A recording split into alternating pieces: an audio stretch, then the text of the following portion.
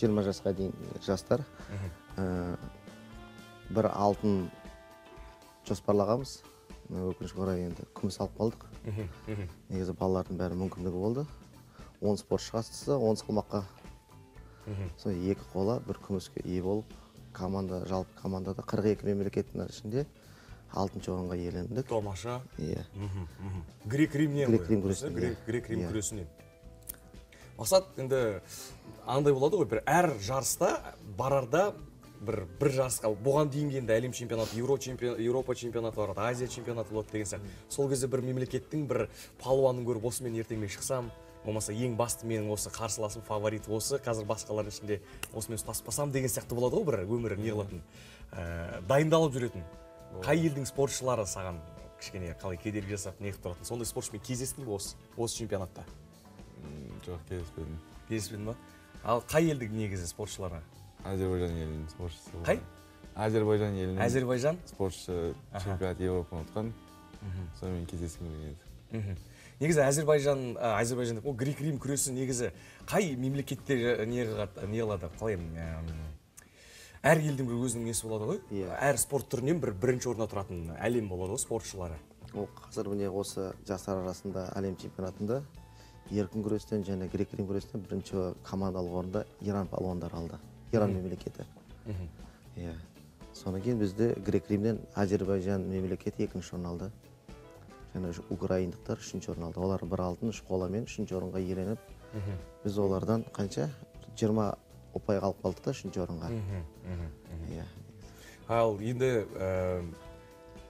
ә, жаңа медаль медаль мен әдетте спортшыларымыз медальмен келеді а қалтаға салып қойып отырғанша. Беріңіз медаліңізді мақсат мырза. Әні өйткені біз бірден спортшылар келген кезде ә, медальді алып көрсетеміз мақтанамыз. Біздің спортшыларымыз көк байрағымызды желбіретіп еліміздің атынан қазақстан намысын қорғап жүрген. Біз үшін үлкен мақтаныш қой. Ә, әлем чемпионаты әлем чемпионатының қола жүлдегері мақсат. Таныс ә, естеріңізде сақтап алыңыздар құдай қаласа олимпиадаға қатысып әрі алтын медальді алып осы студияға келеді бізге иә жұлдыз. Біз солай қолқа саламыз барлық спортшыларға. Енді иә мақсаттан ә, сұрағым келеді. Мақсат жалпы осы чемпионатқа барар, барар алдында қандай сезімде болдың? Және жеткен кезде қандай болды? Негізі адамның эмоциясы әртүрлі құбылмалы болып тұрады ғой. Ә, бір елден бара жатқан кезінде бір уайым қорқыныш сондай сезімдер болды ма? болған жоқ. Э, тезірек басталса екен деген сезім жеткенше асықтың ба Иә, ашық. А- ал жеттің ал сонда? Жеткен соң қарсыластарыңды көргенде? Кілем үстіне аяғым тисе басқан жоқ негізі алдын ала барасыздар ғой иә чемпионатқа дайындалу керек ауа райына үйрену керек сағат ауысады. Біз бір күн бұрын бардық. Бір ақ күн бұрын ғана бардыңыздар ма енді он тоғызы жарыс басталды біз он жетісі күні обедтен кейін болдық. Сосын барып кешкі жаттығу ойнап ертеңде уже балаларды салмақтарын әкеліп біраз подводка істеп бірінші күні бес салмақ күрестік. И сол біраз бір жарым күнде біз етіп чемпионатқа неше уақыт дайындайсыздар? Бізге осы әлем чемпионатының алдында екі кезең оқу жаттығу жиыны өтті. Бірінші кезеңде біз ә, жалпы дене дайындығы мен арнайы дене дайындығын өткіздік. Салмақты Сал- екінші кезеңде және осы не ә, әлем чемпионатының алдында біз енді тек кілемде істедік ә, подводящий деп айтады ғой келтіріп балаларды ә, бір бір аптасында екі мезгіл жаттығу істедік. Содан кейін уже бір апта қалғаннан кейін жартысын бір мезгілде балалардың уже неменесіне ә, көңіл күйіне қарап өздерінің несіне сезіміне қарап солай уже жаттығуды өзіміз келтіріп отырдық сөйтіп өйтіп әлем чемпионаты. мақсат енді мен мынандай спортшылардың барлығына қоям. Әркім әртүрлі жауап береді. Енді әр спортшының өзінің бір ырымдары болады ғой сенім нанымдары болады. Мысалға хоккеисттер м, ойынның алдында қырынбау деген сияқты қолындағы клюшкасын бірге алып ұйықтау деген сияқты ше. Сен өзіңде бір ырымдарың бірдеңең бар ма мүмкін тұмар алып шығасың ба? Деген сияқты. ондай жоқ а ондай ондай жоқ па тек қана өзіңе өзің сенімділікпен шығасың болды Иә. Ал енді мен күрестің түрлерінен аса хабары жоқ адам ретінде көрерменнің атынан сұрақ қояйын грек рим күресінің басқа күрес түрлерінен айырмашылығы грек рим күресі белден жоғары күрес қара қара күшпен күреседі қара күшпен қалған күреседе шалу аяқтан ұстау. Сондай әдістер бар. Анау дзюдо жаңағы айкидо дегендер сияқты біріне бірі келе береді ғой негізі ұқсайтын спорт түрлері.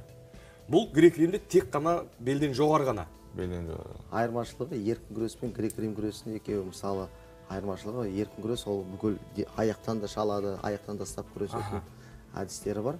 А грек римнен жаңа мақсат айтқандай белден жоғары күресеміз тек қана қолдың күшімен және қолдың күші де емес ана аяқтың күші де керек енді әдістер істегенге. Техникалары өзі сондай айырмашылығы бар. Мына жерде міне көрсетіп тұр ғой қарасайшы сені осылай лақтырса. Енді мен мақсат мен өйтіп лақтыратыныма еш күмәнім жоқ. Әшейін ет ет салынған қап сияқты әшейін қадай салатын спортшы ғой енді. Қазір әлем чемпионатына қатысу үшін спорт шебері санатында болу керек. Дұрыс қой.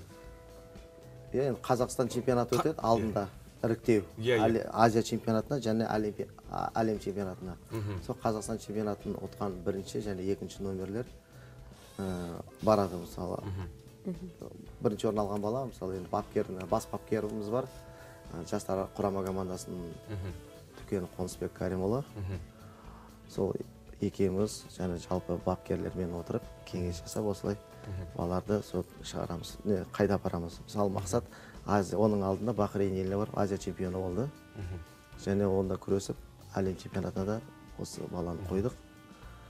Енді ә, сіз жаттықтырушы ретінде әр спорт түрінің сіз енді бәлен жыл өз өміріңіздің иә жылын сарп еткен адамсыз ғой осы грек рим күрес түріне жаттықтыруға. Плюстар мен минустарын айтсаңыз мүмкін жетіспейтін тікелей эфирді пайдаланып отырып айтып қалуыңызға болатын назыңыз бар. Мүмкін. Иә осындай жағынан андай жағынан қолдау болса деген сияқты. Мүмкін аймақтардағы балаларға қолдау деген сияқты. Бізде де осы астана қаласында да өзім бас бапкері боламын. Ересектер арасында осы және жастарды нелерді осы үстінен қарап отырып куратор секілді. Бізде балалар өсіп жатыр жақсы балалар көп. Бізде енді қалада қолдан келгенше көмектесіп жатыр а, басшыларымыз. Яғни проблема жоқ.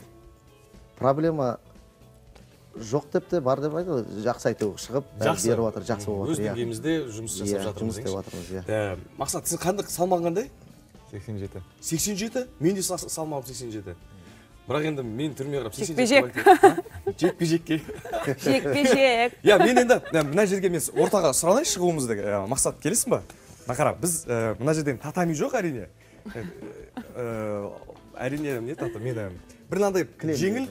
былай ғой біз бізге мына жерде каратистер келіп жатады. Ә, түрлі спортшы түрлі келеді. Бізде алдында кім келді ғой? Ә, ә, жаңағы зілтеміршілер солар келгенде де мені былай ұстап былай көтеріп қоя салды. Енді мен сен грек рим күресінің әлем чемпионатының ә, қола жүлдегері ретінде сенен сұрарым бір ғана әдіс көрсетсең. Мәселен енді күресшілер ұстаған жерін жібермейтін спортшылар ғой көбіне. Сол сияқты мәселен мен аяқпен жықпайды екенсіздер. Жаңағыдай бүйтіп көтеріп лақтырып деген сияқты бір, бір маған бір көрсетесің ба прием деп айтамыз ғой. Ертең ма мақсат лақтырма лақтырма. Көзілдірігін мен шеше жалғыз жүргізе алмай қаламын. Көз үзілдірігімді шеше салайын ба? Шеше салыңыз иә. Иә шеше салайын ба? Жоқ анандай. бір прием көрсетіңіз десе шапалақпен тақ жіберсін осы жетеді саған деп ше? Соның көзімен талып қалсаң грек рим күресінде классический прием дейді ғой прогиб. Тоқтай тұрыңыз ойбай. Тренинг не жасап қойыңыздар? Мына крестовый захватқа кірген кезде. Артқа. Қолғасын қысамыз ойбай не деген көтеріп артқа мына былай дұрыс па мен дұрыс тұттым ба мына қолды Иә. және былай ма иә иә былай қосасыз а былай иә иә сөйтемін да қысамын иә сөйт иә саған көтере салдым мен сені иә қазір көтеріп артқа қарай ма бұны негізі ше артқа қарай оп оңай көрінеді мені қара міне қара мен былай істедім былайынан ұстадым дұрыс па иә иә мақсатты бүйтіп көтеріп. Лақтырмақ түгілі сен көтере алмайтын сияқтысың ғой. Мен мен қазір өзімді сырттай елестетіп тұрмын бар ғой түк андай ебедейсіз қопал адам болып көрініп тұрғанымды Ә, құрметті көрермен мына кісінің түрін жаттаймыз бірақ енді мына кісіге біреу бірдеңеге тиісудің өзі де былай иә көрініп тұр ғой спортшы екені. Болады ғой андай кейбір адамдар мен мысалы бір кикбоксермен кездескенім бар. Түрі менімен жасты жігіт. Салмағы алпыс бір ма сондай ақ. Алпыс килограмм ба сондай.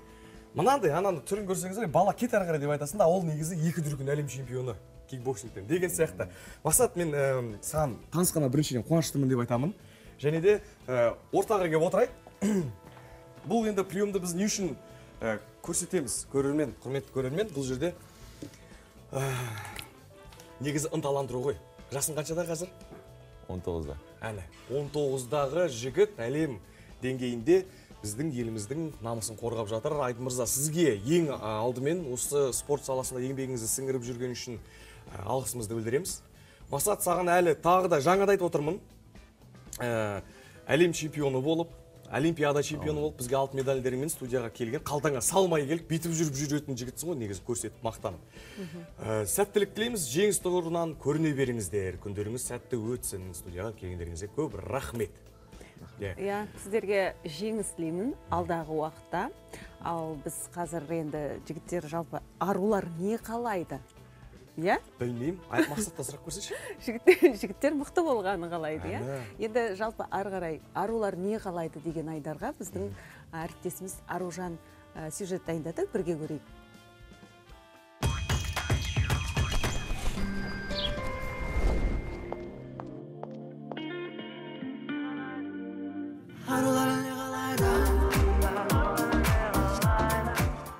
Достар. Ару үйренеді айдар ары қарай өзінің түсірілім жалғастырады. Біз бүгін полировканы үйренеміз. Қалай істейміз? Дұрыстап тұрып қарап алыңыз. Кеттік.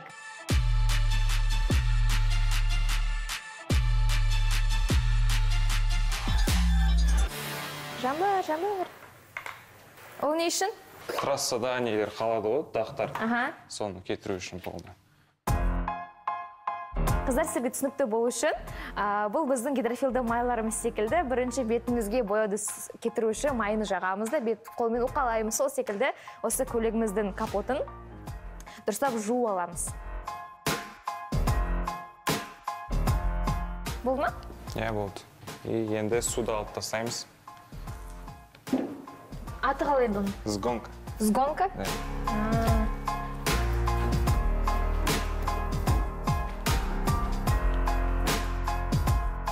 келесі сүртіп шығамыз. Полировкада су қалмау керек. Полировка істеген кезде. Полировка аппаратын аламыз. Өзінің специальный пастасы болады. Түрлері көп бола ма? Түрлері көп болады. Үш слой болады. Үш слой. Үш слойда үш түрлі паста болады. Бірінші слой царапиналарды алады. Екінші слой рисктарды алады. А үшінші слой чтобы голограмма қалмау үшін голограмма деген не голограмма деген полировкадан кейін қалады мынау қолыңыздың жерінен аха солай мынаның басыңыз қайсын осы все иә дұрыс а, төрт бұрышына өтсеңізші былай былай былай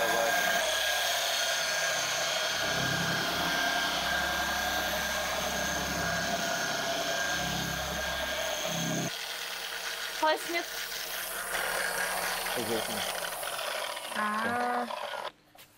неге екі үш күн ұзағынан жасалады ғой бұл көп осылай бәрін өйстіп өту керек болады. Расында бірінші қабаттан кейін ә, күту керек иә? Иә күту керек и тағы да бір рет басқаша машинкамен. Ал неше аралықты күтуіміз керек? Бір бір сағат. Енді келесі кезек бізде осы көліктің қанатында. Әлібек енді дәл солай істейміз иә? Бірінші жуып аламыз сүртіп аламыз иә? Иә тура солайынан істейміз бірақ бұда пластиковый элементтер бар. Соны өзіміз өзінің специальный скотчмен жабыстырып шығамыз. Бұл пластиковый элемент. Бұда краска жоқ бұл ағарып кетеді. Полировка кезінде қандай ережелер бар? Осындайды істеуге болмайды немесе керісінше істеу керек мысалы мынандай жерлерде. Аха бұрыштарында иә? Бұрыштарында.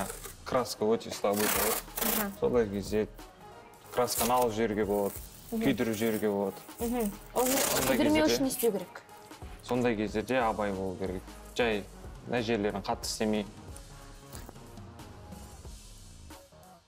Бұл спанч бобты аламыз да? Сосын сумен шашамыз иә?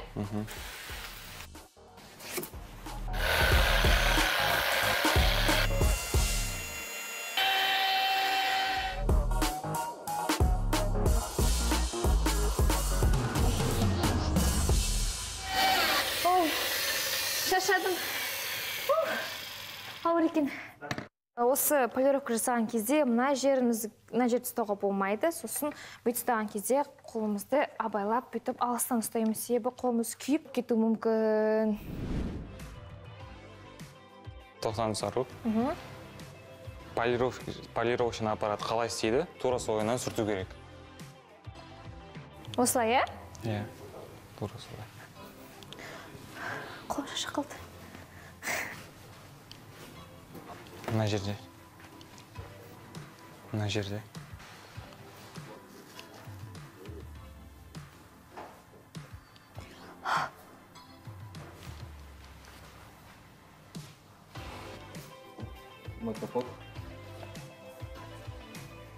Иә қыздар көргендеріңіздей бұл біздің бет күтіміміз секілді. Арнайы құрылғылар мен майлары болады. Біз бет күтім істегеннен кейін біз бақытты боламыз. Бақыттан басымыз айналып өзімізді жақсы сезінеміз. Сол секілді бұл көлік те өзін жақсы сезініп тұр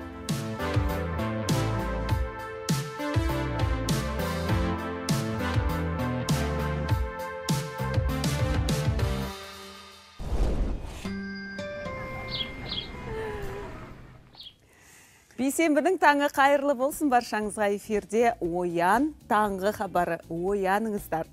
Иә оятуға тағы бір өзінше бір үлесін қосқысы келіп тұрған әріптесіміз санат ілиясұлы.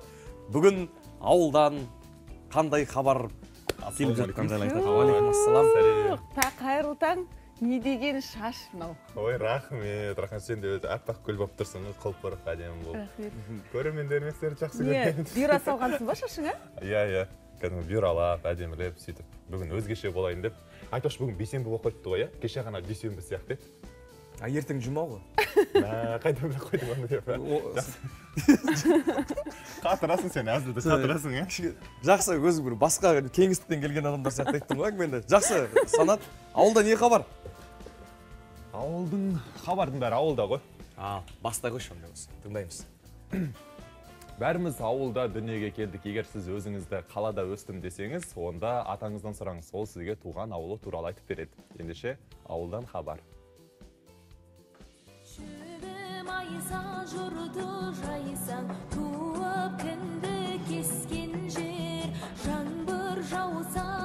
Батпағын жалаң аяқ кешкен жер ауыл полиция қызметкерлерінен мұндай әрекетті күтпедім.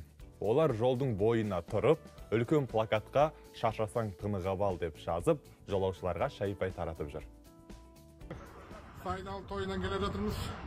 Мына жерде міне топардың инспекторлары тоқтатып міне устал отдохни деп міне келіп бізге шай беріп жатыр міне. Қандай керемет міне той тойға ұласып жатыр өмірімізде бірінші рет инспекторлар дорожный полиция тоқтатып шай ішіп кетіңдер деп жатқан енді міне. Мынау жақсылықтың белгісі ғой енді. Жақсы міне керемет. Ауыл африкада да ауыл таланттың бәрі ауылдан шығады. Мына видео соның дәлелі.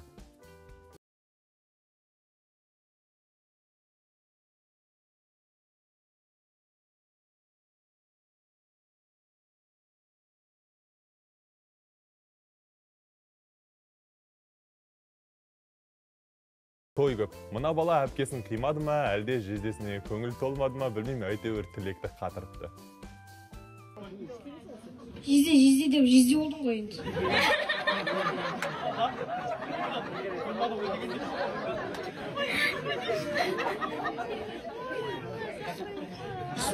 Несін ал деймін мен енді? Енді баланың тілі тәтті ғой. Ә, әпкесіне тілек айтып ә, жұрттың жұртты күлкіге қарық қылды. Жүк көлігін жүргізушілер шағымданып жатыр. Олар тиеген тауарды ауылдың бұзықтары тонайды екен. Тіпті қылмыстық оқиға видеоға түсіп қалыпты. Көрейік.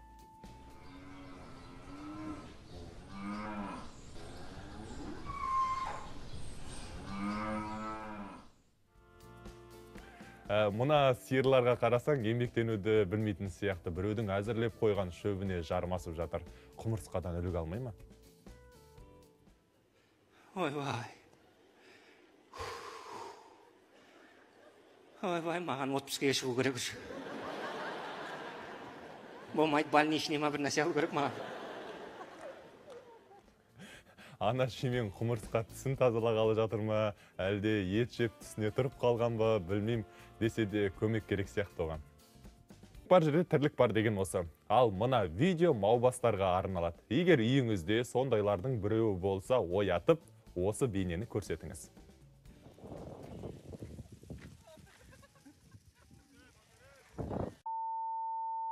Еркек шықтап жатыр ғой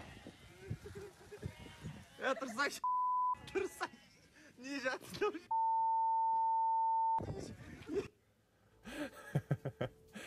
мынау алмас қой біздің деп мына көрініс әлеуметтік желіде кең таралып талай құрылысшының кәдесіне жарады.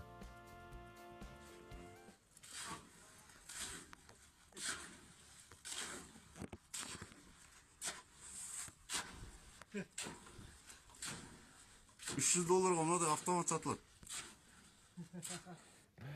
Хабарымды мағыналы көрініспен аяқтайын. Табиғаттың өзі бізге сабақ береді қарап тұрсаң.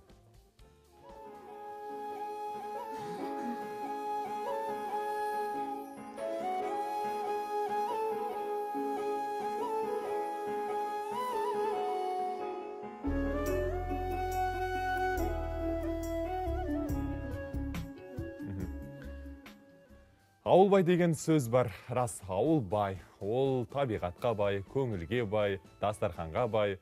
Ә, рас ендеше бай бай айтпақшы. Бай бай деп қойыппын ғой иә сау бол айтып иә. Ә, хабар арнасында арнасы жаңа маусымға негізі қызу дайындалып жатыр ғой иә.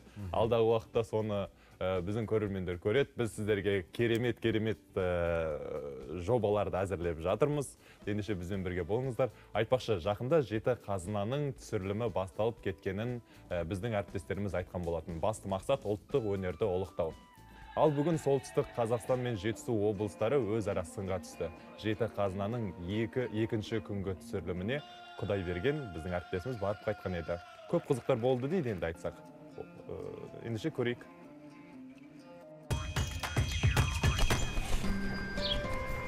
Сәлемі жуырда хабарда ұлттық өнерді ұлттық спортты насихаттайтын жеті қазына бағдарламасы көрерменге жол тартады.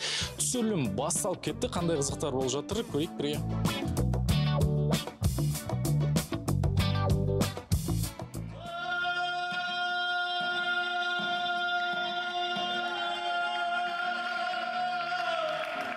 Ай содан кейін уай деген жалғаулар артық сияқты сол уаймен бітіргеннен гөрі аймен аяқтасам.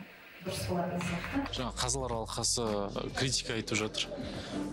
Қалай қабылдайсыз олардың бәрін енді білмеймін қарлар алқасы не десе де ол кісілердікі дұрыс қой. Себебі біз ол кісілермен таласатындай хақымыз жоқ ойымыз да жоқ.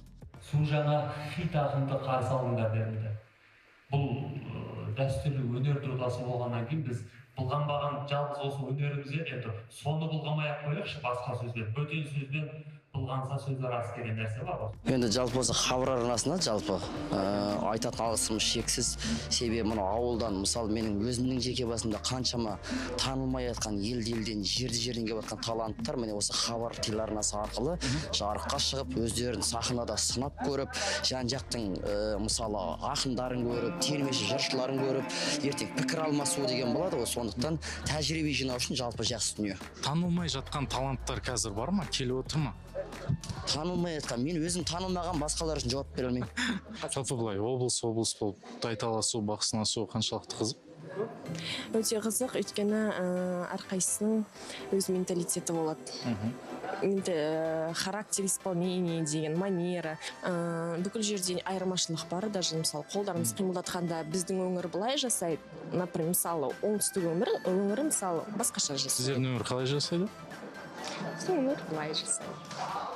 А, бізге би қоятын кісі оңтүстіктің өңірі ол бізге былай көрсетеді. Қолды ажыратпай. Соған дейін мысалы былай істедік бұның бәрі есепке алынады. Хореограф жайдан жай отырған жоқ ол оның бәрін көріп отыр. түсінікті. Ұнады. кім жеңді енді қалай ойлайсыз бүгін? Кім жеңді болғанда бізде көрініспен алып келген би болғандықтан біз өзіміз сенімді болып келдік. Орын біздікі болады деп. Жақсы жақсы. Әдемі болыпсыз А, бұл костюмді өте э, жаңағы сирек киемін. Сирек. Көбінесе эстрада көйлектері сондай. Жалпы эстрада көйлегі ме осы қазақы көйлектер ме? Көбінесе эстрада көйлектерін киемін. Өзіңізге қайсысы ұнайды маған қазақи осындай қазақи нақышта өзіміздің көйлектер ұнайды шынында. Мхм. Бірақ ол киіну қиын сондықтан кимеймін деңізші. Иә енді оңай емес. Бұрынғының қыздары қалай жүрген деп ойлайсың да. Оңай емес но қаншама. Еңбек.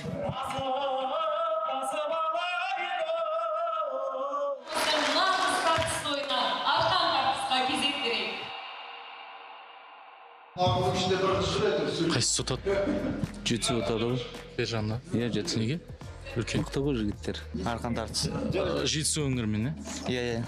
Жеңесіздер ме құдай қаласа көреміз енді. Тырысамыз жеңуге иә. Мен сіздерге жақтасам сәттілік болды рахмет аға.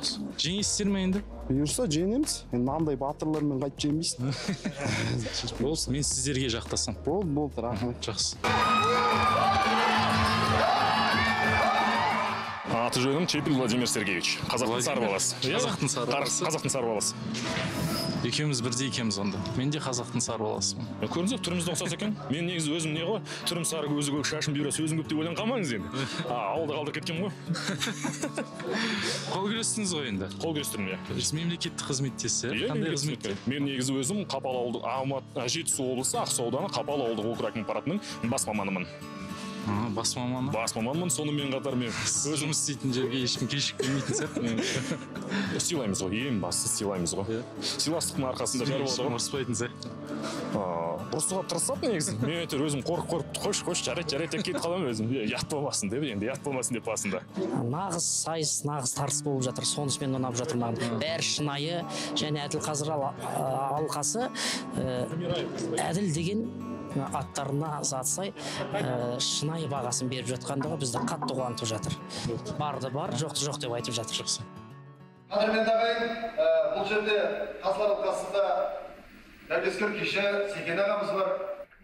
Владимирден қорықпай шыққаны үшін саған да бір бала.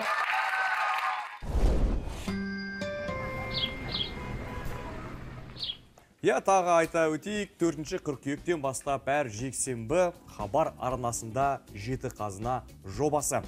Ә, Кеше студияда ә, жоба жетекшілерімен, қатысушылармен сұхбаттастық. Ә, Негізгі мақсаты ұлттық өнерді дәріптеуші өнер иелерін иә, елге таныстыру. қазақ ұлттық өнерді иә, насихаттау жаңағы қол қол күресшінің көрдің ба аудан әкімдігі аппаратының бас маманы дейді өзіміздің қазақтың сары баласымын деймін шашым шашымды бұйра шаштымын негізі үйде қалдырып кеттім. Иә спорт ә, расымен де адамға өте көп пайдасы бар. Оның ішінде ә, әлемге әйгілі адамдарға спортпен айналысудың көмегімен өздерінің жас қалпында кейпінде ұстайды. Оның ішінде николь кидман. Ол ә, Perfect журналына түскен соңғы суреттермен әлемді таң қалдырды. Таң қалдырғаны былай тұрсын жұрт тіпті оны танымай да қалған. 55 жастағы актрисаны шыныққан денесі әбден жаттыққан бұлшық еттері мен қылдай белін көрсете киген белдемшесіне қарап тіпті төрт баланың анасы деп ойлау қиын. Тура мен сияқты екен. Иә небәрі 5 сағат ішінде мұқабадағы фотолар 160 мыңнан аса лайк жинаған. Расында жинайтындай суреттер. Өйткені бұл жолы николь тіпті шашының түсін өзгерткен екен. Фотограф Джун Лин де бұл фотосессияда бар шығармашылығын салған сияқты. Соған қарап фотошоп деп сенбей жатқандар көп. Кейбіреулер тіпті тым жасарып кеткен никольдің сұлулығына сұқтанды ма баласы бар әйелге жараспайды деп жазған. Мен никольді түсінемін бұл тараптан. Иә иә. Мен де соны айтайын деп тұр едім саған да сөйтіп тиісетін шығар нәкең екеуміз ұқсаймыз деші. Әрине әрине. Мен никольді түсінемін сондықтан мен сенімен біргемін николь. Ол да естіп саған хабарласса иә кешке иә актриса негізі жұмысқа қатысты жаңа жоспарларға сақадай сай сияқты. Ә, соның ішінде джейсон мамоумен бірге тағы ойнайтын аквамен фильмінің жалғасы да бар. Тезірек шықса екен. Жалпы әлемде жасы елуден асса да сын сымбатымен таң қалдырып жүрген жұлдыздар көп. Соның бірі әнші актриса сәнгер биші продюсер яғни голливудтың ең қымбат актрисаларының бірі ол дженнифер лопес. Расында джейлоны елуден асты деп ешкім ойламайды. Үнемі сымбатына сын келтірмейді. Жуырда тұрмысқа шығып талдырмаш денесіне сай той көйлектермен тағы бір таң қалдырды актриса ел алдында үнемі дене бітімінің әсемдігін паш етіп жүреді. Ол да біраз а, голливудтық жұлдыздар сияқты мэшебл басылымы жасаған ең әдемі қартайып жатқан танымал тұлғалардың тізіміне кірген. Сұлулығының сыры ақуыз бар тамақтарға аса мән береді. Су ішеді үнемі спортпен айнал- айналысады. Күнде ә, хабар арнасында оян таң хабарын көреді екен. жасы келсе де сыр бермейтін. Сұлулардың бірі 56 жастағы холли бейли 1966 жылы американың огайо штатында дүниеге келген. 23 жасынан бастап диета сақтап алкогольді ішімдіктерден дәмді тағамдардан бас тартқан. Жеке өміріндегі қиындықтарға байланысты ауруханаға да түскен. Соның бәріне мойымай екі баласымен бақытты өмір кешуде. Кіші роберт дауни младший да. Ой кіші дегенді екі рет бірақ біреуін орысша біреуін қазақша айтып жібердім ғой. Ә, сол да кезінде семіріп не қылған еді? Ә, жаңағы әдемі қартайып келе жатқандар жайында. Ә, солардың қатарында әнші мадонна да бар. Үнемі бейәдеп қылықтарымен елді дүрліктірсе де сұлулығымен әрқашан таң қалдырып келеді. Бүгінде жасы алпыстан асты. Бірақ әлі сахнада би билегенде талайға шаң қаптырады. Иә, әже танып жасы елуге жақындаса да талдырмаш сымбатымен ә, талайлардың көзіне түсіп жүрген сұлулар бізде де көп. Бұл тізімді қазақстандық өнерпаздардың ішінде Баян Алагөзова сымбаты жағынан көптің алдын орайтын сияқты. А, меніңше және де Айгүл Иманбаева. иә Айгүл Иманбаева өте-өте керемет сақталған. Ешқандай от қуанышқызын да жатқызуға болатын сияқты бұл тізімге иә Иә, Роза Қуанышқызын. сол кезінде 18 жасында әлия деп ән айтқан кезіндегі кейпінде дәл сол күйі ғой Сол жаңағы шаш үлгісі, иә иә? өзінің ұстамдылығы сол күйінде иә ә, үнемі жас көрінетіндердің ішінде жаңағы ә, кристиан бейл деген актерді білесің ғой бэтменді ойнаған ол өте білесің ба трансформацияға бейім жақын актер деп айтып жатады. Голливудта себебі оның рекорды ә, бір рөл үшін 40 килограмм қосып фильмнің түсірілімі біткеннен кейін үш айға ма жетпей қайтадан сол салмақ тастап тастаған өзінің жаңағы дене бітімін қайта қалпына келтірген брэд питт оның ішінде леонардо ди каприо ә, алмас тоғай. Айта берсең көп қой. Негізі біз ә, алмас біз екеуміз негізі жалпы өнердегі танымал адамдарды айтып жатырмыз иә? Иә. мәселен мен осы осыдан төрт жыл бұрын германияда болған кезде қарттарға арналған мейрамханаға бардым. Өзің құрдастарың арасына кіріп кеттің ба иә өзім құрдастарымның арасына кірдім. Сосын? Енді олардың би билегені мен олай билей алмаймын. Беріліп эмоцияға беріліп шынайы бақытты өмірге риза өздеріне. Со- сонда мен сұрадым біреуінен. Иә сіздер осылай қаншалықты жиі жиналып тұрасыздар деп. Аптасына бір рет ә, бейсенбі күні айтпақшы жиналады екен. Кешке жақын ә, билейді. Иә. Бізде енді апта сайын тойға бір барып бірімен бір бірінің жұптарымен кезектесіп кезектесіп билейді екен. Енді біз олай билей алмаймыз. Негізі қал- ә, олар өздері жастары келген кезде биге қатысады екен.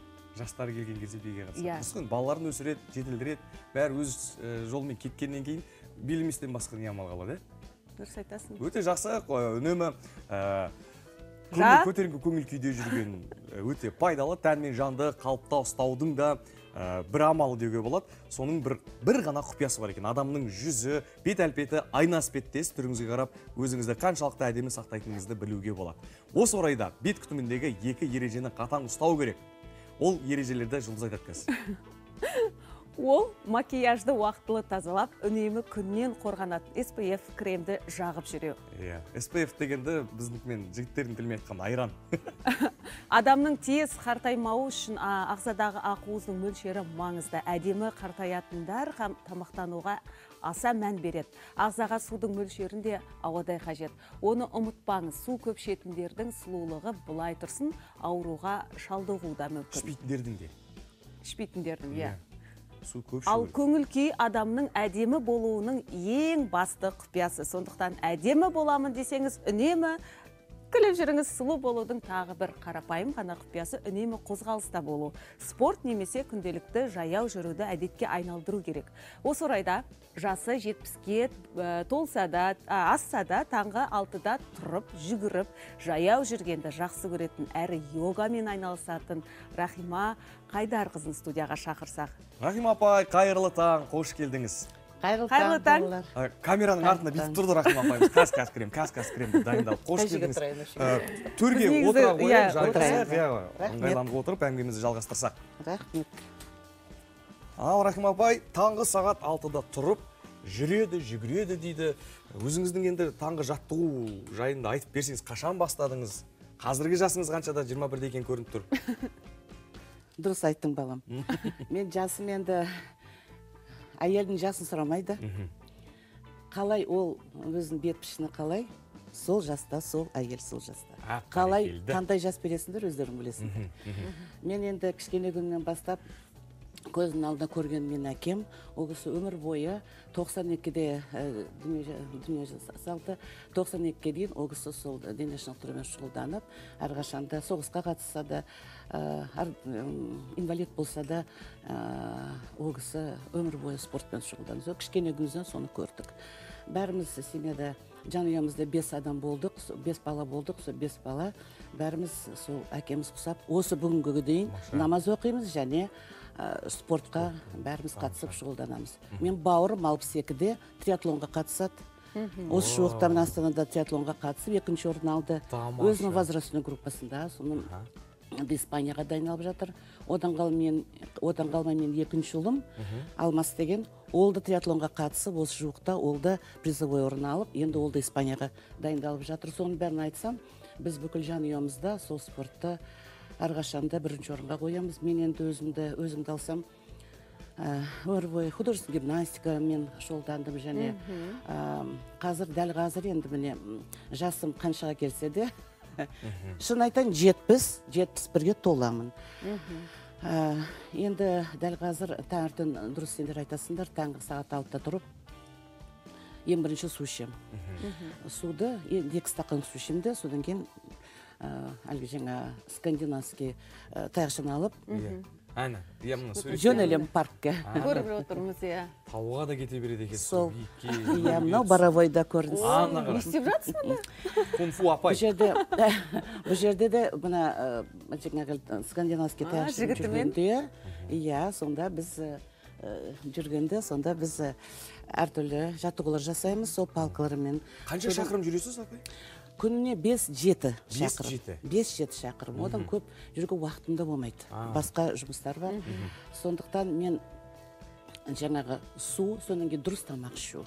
Тамақ ішкенде мындай әлгі жареный тамақ ішпейміз ешқашанда. А, сол кашалар содан кейін күніне бір жеміс жидектер а? Жеміс жидектер жейсіз жеміс жидек әрине. Жеміс жидек жейміз содан кейін көбінесе сол бобовая содан жасалған тағамдарды жейміз. Содан кейін енді етті енді аптасына мүмкін үш төрт рет жейміз. Оның ішінде тауықтың еті кіреді содан кейін мен ойлаймын ең бірінші мына спортпен шұғылданғанда өзіңнің жасына қарау керек әрине. Иә. бірақ үйде отырып диванда отырып үйттім бүйттім мына мынандай бір ә, сөмке дәріні ішіп сол врачқа барып ондай мен қадетімде жоқ. Осыны сұрағым келіп отыр. Сізден негізі көп ә, сіздің замандастарыңыз қазір бізді теледидардың ар жағында ә, көріп отыр. Ә, көбісі енді айтады менің жасым келді қызым ау мен осы отырғаным осы жетеді. Спортпен шұғылдансаңызшы неге шұғылданбайсыз деген кезде мен жасым келді маған болды осы мен енді отыра берем деп жаңағыдай дәрілерін ішіп отырады. Дәрумендер дәрілер өзіңіз соған көзқарасыңызды айтсаңыз және мотивация болсын ақыл кеңесіңізді айтсаңыз. Мен енді ойлаймын кісі енді ол кісінің өзіне байланысты ғой отыз жаста да кісі кәртеуі мүмкін. Иә. Түк істемей сол жаңа берген дұрыс дәріні иә. Бірақ тоқсанға келген менің әкем мысалы ол кісі ауырдым үйттім бүйттім демейтін. Ешқандай дәрумен ішпеді жоқ ол кісі дәрі ішпейді сонда врачтар келгенде айтады дәрігерлер сіз мына жүрек қағысыңыз алпыс бесте жетпіс бес қан қысымыңыз жүз он. Сіз аташка қандай сонда ол айтады мен позитив мен сабырлық сақтайтын кісімін дейді. Мен позитив адаммын. Мен ешқашанда бізден бірдемені түсіріп алса ғафу етіңдерші деп сондай ә, жақсы көңілмен тамақты да ішкенде өзі қарым қатынасымыздың бәрі бізде әрқашанда позитивті болды. Тамаша иә ішкі ішкі күй гармонияны дедіңіз үйлесімділік өте Иә. маңызды өзіңізбен Иә. өзіңіз. Ә, енді мына жағынан мысалға жаңа сіз өте әдемі айттыңыз 30 жастағы адам да қартайып кетуі мүмкін деп. Мысалға менің о- жасым отызда шыны керек спортпен аса айналыса қоятын адам емеспін. Спортпен бір айналысып келемін де бір уақытта тастап кететін әдет болады ғой. Ең қиыны сол ғой бастау ең қиыны.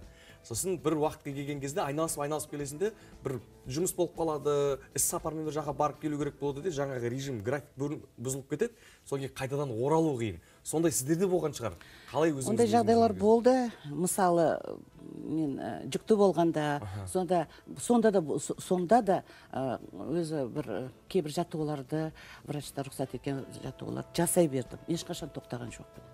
Плавательный бассейнге барып не болмаса жаңағы йога. Содан кейін енді мен ең жақсы көретінім бүгінгі күнде ә, цигун. Цигун ци деген энергия ғой. Иә. ол цигун ол қытай гимнастикасы өте кісіге өте жақсы несіне денсаулығына өте жақсы гимнастика. Мен соны екі түрін жасаймын. Біреуін мен бір рет көрсеткем. Ол цигун вим хоф деген содан кейін тағы да дыхательное э, упражнение с задержкой дыхания. Бір, бір, бір минутқа дейін мен дем алмай демді өстіп ұстап отырамын да бір, Бір минуттан минут. кейін бір минуттай бүгінгі күнде. Бірақ оған келгенде енді ол сразу Иә, бірден жасалмайсың. постепенно жасалатын нәрсе. Сондықтан оның да мен шұғылданамын вим хоф деген американский сондай мұз адам. Ол кісі мұз адам мұзда отырып мұздың суға отырады неше бір, бірнеше сағаттай. Мен мұзға отырмаймын бірақ дыхательный жаңағы дем алу тыныс алу ә, гимнастикаларын жақсы. Қыста да шығасыз ба сіз 30 градуста шығамыз. 40 сіңіліміз иә, 40 градуста 30 градуста тек қана жел болмаса жел ғана болса бармаймыз үйде жасаймыз а ә, жел болмаса жүре береміз жаңағы скандинавский таяқшамен мен. Шықпасам мен өзім өзімді сол күні сезінбеймін. А, сізге сол энергияны іштегі энергия бір шығарып алып екі есе қуаттанып аламын деңізші иә энергия әрине дәл солай. Енді ә, осындай сәтті пайдаланып сіз енді жүрмес бұрын жаттығу жасайсыз ғой дұрыс қой. Жаттығу жасаймын дұрыс Иә. айтасыз бірге жаттығу жасасақ мына жерге тұрып қазір бізбен бірге оянған көрермендеріміз де экран алдында тұрған шығар мүмкін. Апамыз қандай жаттығулар жасайды екен деп иә жаттығу көп жаттығу жасаймын қайсысын көрсетейін? Кеттік бірге қыздыратын иә. Бұлшық етті қыздыратын Бұлшық етті бірінші қыздыратын иә мында. жұлдыз апа жүріңіз деп айтайын деп қалдым ше? Ойнаймын ойнаймын әзілдеп отырмын. Жақсы. Енді ең бірінші апа жасайтын ша- шамалы алға шығайын. жарыққа иә мына жерге. Жақсы. Енді жаңағы ол мен айттым ғой цигун деген гимнастика. Ол былай басталады кішкене аяғымызды былай қоямыз да. Содан кейін басталғанда былай міне өстіп а өзің арқаңа қарайсың. Былай қарай. О, тізелерімізді сәл бүгеміз. Осындай кезде омыртқаң бар екені есіңе түседі содан кейін міне өкпеңді кішкене соғасың иә кішкене. Біраз. Енді мына жаққа кислород миға бару үшін былайырақ қатты соқпай ақ қойыңыз ақырындап ақырындап сәл біздің арқамызға тығып қалған ба? Сөйтіп мен топырағым төгіліп жатқан сияқты. Ол бір 15 реттей жасайсыңдар. Содан кейін ну, бәрін жасаймын.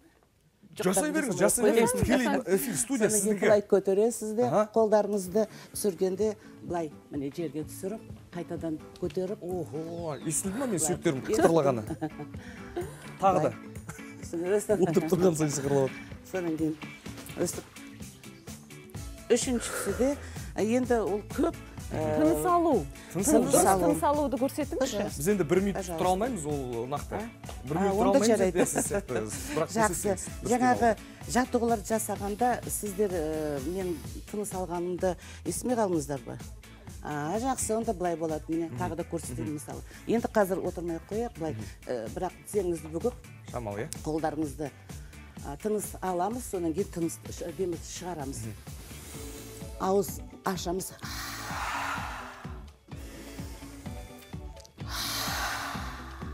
үшінші рет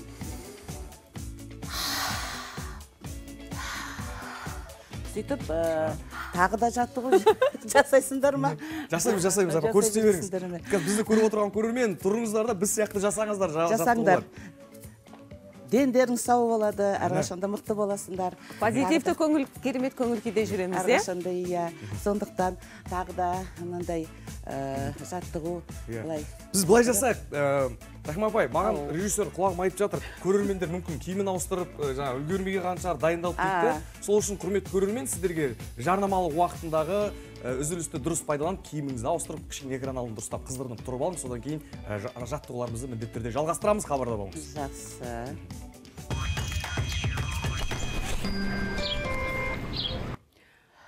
Қайырлы таң жаңадан қосылып жатқан көрермендер. Эфирде оян. Таңғы хабары. Екінші сағатымызды әдемі таңғы жаттығулармен бастап жатырмыз. Рахима апаймен бізге қазір сізде рахима апай студияда иә Иә. жетпістің желкенін керген ә, бірақ спортпен күнделікті айналысатын бізге қазір ә, иә күнде таңертеңгілік жасауға болатын жаттығуларды көрсетіп жатыр жалғастырайық ары қарай. Цигун дедіңіз энергия иә, жинау. бұл энергия жинайтын кісі күні бойы шаршамайтын энергия беретін ә, жаттығулар кісіге күнде күнде пайдалы. Сондықтан мен екі түрін көрсетіп жатырмын. Біреуі цигун біреуі бадуанзин деген восемь отрезов парчи деген ә, соны қазір көрсетейін деп тұрмын. Ол жаңағы кішкене бастадым көрсеттім бадуанзин отырғанда былай тізелеріңізді ә, сәл бүгіп мына ә, былай алдына қарай сонда мынау артымыздағы арқамыз тік болу керек. Түзу болу керек, Түзу иә? болу керек, иә. Омыртқамыз. Сонда сонда не басыңыз кішкене көтеріп мына бетіңізді сәл кө- көтеріп содан кейін тыныс алғанда мұрынмен.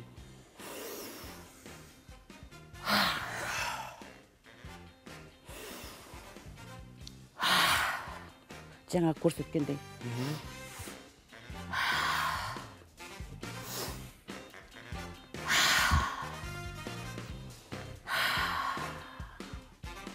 ал енді келесі жаттығулардың бәрі осы мына цигунға және бадуанзинға байланысты ә, кейбір жаттығуларды былай орындаймыз.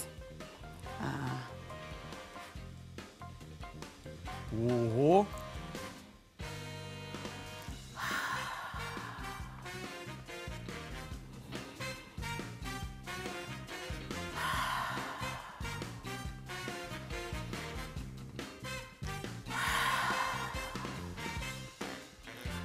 бұның бәрі жаңағы ә, концентрация мышления мына кісінің ә, миында кислород барып содан кейін Иә. ә, ә, сосредоточение күні бойы ә, кісінің ойы. Содан кейін памяттің бәрі дұрыс болу үшін жаңағы жаттығулар тыныс алып және тынысты шығару емді шығару. Яғни сол зейін салу және есте сақтау қабілетін иә күшейтеді. күшейтеді Иә. жақсарту үшін дем алу жаттығуы қандай? Иә. дем алу жақты танаумен тыныс аласың да ауызбен шығарасың. Танаумен шы- түсіре шығар. Енді бұның бәрі ең соңғы кредит төлегенде де осылай дем аламын мен. Деп ше дәл дұрыс сол. Құтылдым әйтеуір әрқашанда кішкене бас айналады екен иә? Иә бас айналады миға ол кислород барады ғой. дұрыс. Шын ба не миың демалмаған кейін басыңа. Сіздер үйренбегенсіңдер оның бәріне. Сондықтан ол Иә. сендерге солай ә, енді кислород ана жаққа тез иә біз күнделікті оған мән бермейміз ғой жүрген кезінде иә. Сондықтан бұл тыныс алуына да мән беру керек екен. Әрине. Енді жаттығулар көп оның бәрін қазір орындай береміз бе жоқ па? Иә тағы бір екеу маңызды жаңа өте жақсы көрсеттіңіз. Иә. Мынау түні бойы әбден босаңсығаннан кейін құрысып қалатын бұлшықеттерді қыздырып алуды біз көрсеттік. Шамалы отырыңқырап дем алуды көрсеттік. Зейін салуды және есте сақтау қабілетін жақсарту үшін миға кислород бару үшін дұрыс. дем алуды енді тағы да концентрация внимания. Содан кейін міне мынандай жаттығу бұл да тибетский гимнастикаға жатады. Жиырма бір рет өзін 21 рет айналу керек па? по часовой стрелке. Ал кеттік мен қара бір жиырма бір рет. сендерге үш рет жарап тұр. бес содан кейін тоқтаймыз да. Жеті сегіз тоғыз он бес ретке жеткізейінші он бір он екі он үш он төрт он бес ал кетті жиырма бірге дейін он алты жұлдыз он жеті он сегіз он бастарың айналмау үшін жиырма жиырма бар басқа жаққа ай- ай- айналасыңдар мысалы оң жаққа айналдыңдар енді сол жаққа бас айналмау үшін содан кейін былай тұрасыңдар да жаңағы тыныстарыңды орнына келтіресіңдер. Жиырма бір рет күнде күнде неге десе осыны жасаған кісілер давление жаңағы қан қысымы қант соны соның бәрі орнына келеді екен. Енді мен ол өзімнің практикама қарай мен дәл солай істеймін. Анау көзім айналып отқан сияқты. Оны күнде жасасаңдар ондай болмайды. Енді тағы да бір көрсететінім ол Мгм. Аяқтарын былай тұрасыңдар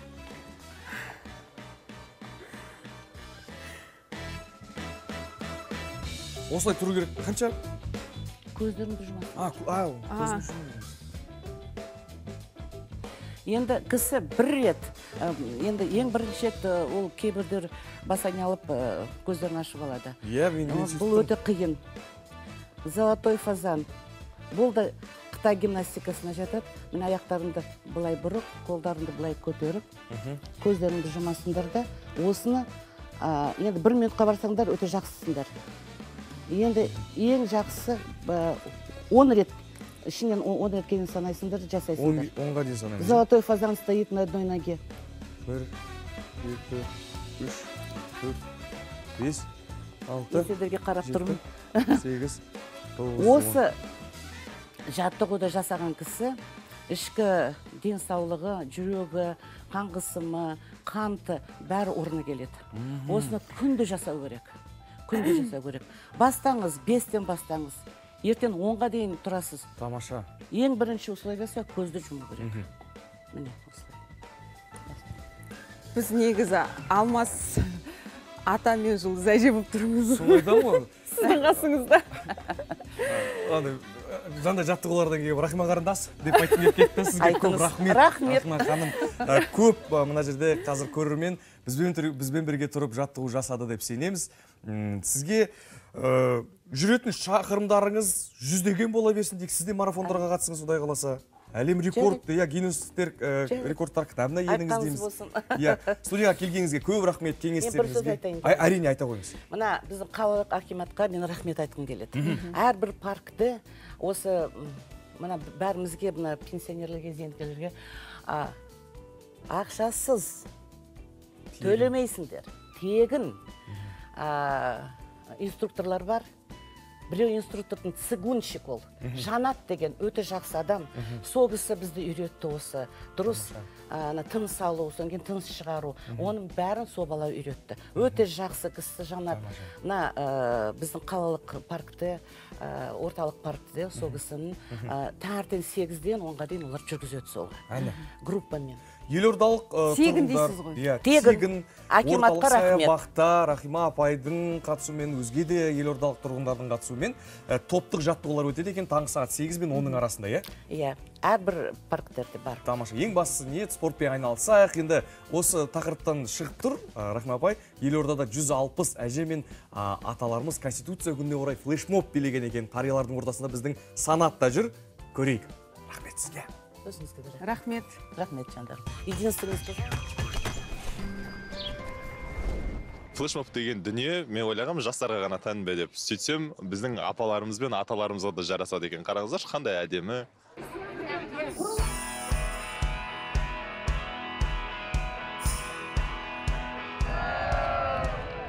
Апа ә, бір жас күндеріңізді еске түсір. Қолыңыз тұрса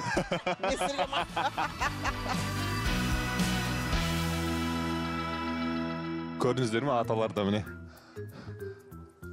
ойбай аяғым ауырды қолым ауырды демейді төбеге шығып алды жақсы кадр алу үшін. Нағыз оператор.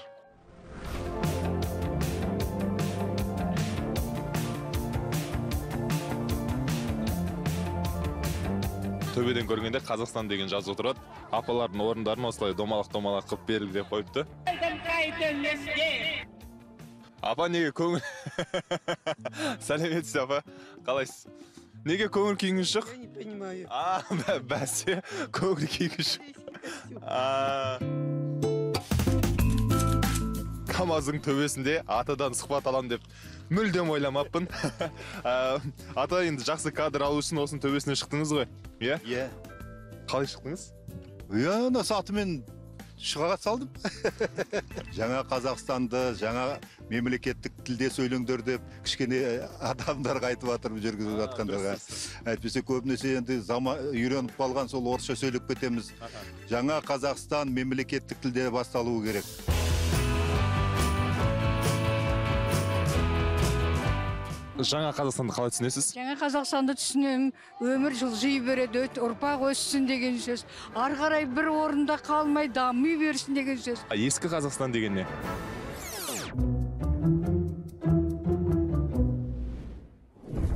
Көрдіңіздер ме мына жақтағы бір атамыз таяғын осында тастап кетіпті. Өзі ана жақта ән айтып би билеп жатыр. Жаныма қуат береді таласқа түссе жаным тоқ жан емес маған керегі көк тудың желбіреді ата ә, қазақ жігіттерінің бойынан табылуы тиіс үш қасиет. Үш қасиет? Жігерлі болу керек. Одан кейін ә, содан кейін көңілді болу керек. Содан кейін азаматтық өзінің борышын білу керек. Азаматтық борыш деген не сонда? Қазақстанға қазақстанға қызмет ету керек. Қазақстанды қорғау керек. Апа келіңіз отырыңыз. Аяғыңыз ауырып қалды ма? Ой. Неше сағат? Өзі сағат. Тоғыздан оннан ба? Аяғыңызды уқалап берейін ба апа? Жоқ жоқ жоқ. Апа? Ә, қазақ қыздарының бойынан табылуы тиіс. Үш қасиет. Әдемілік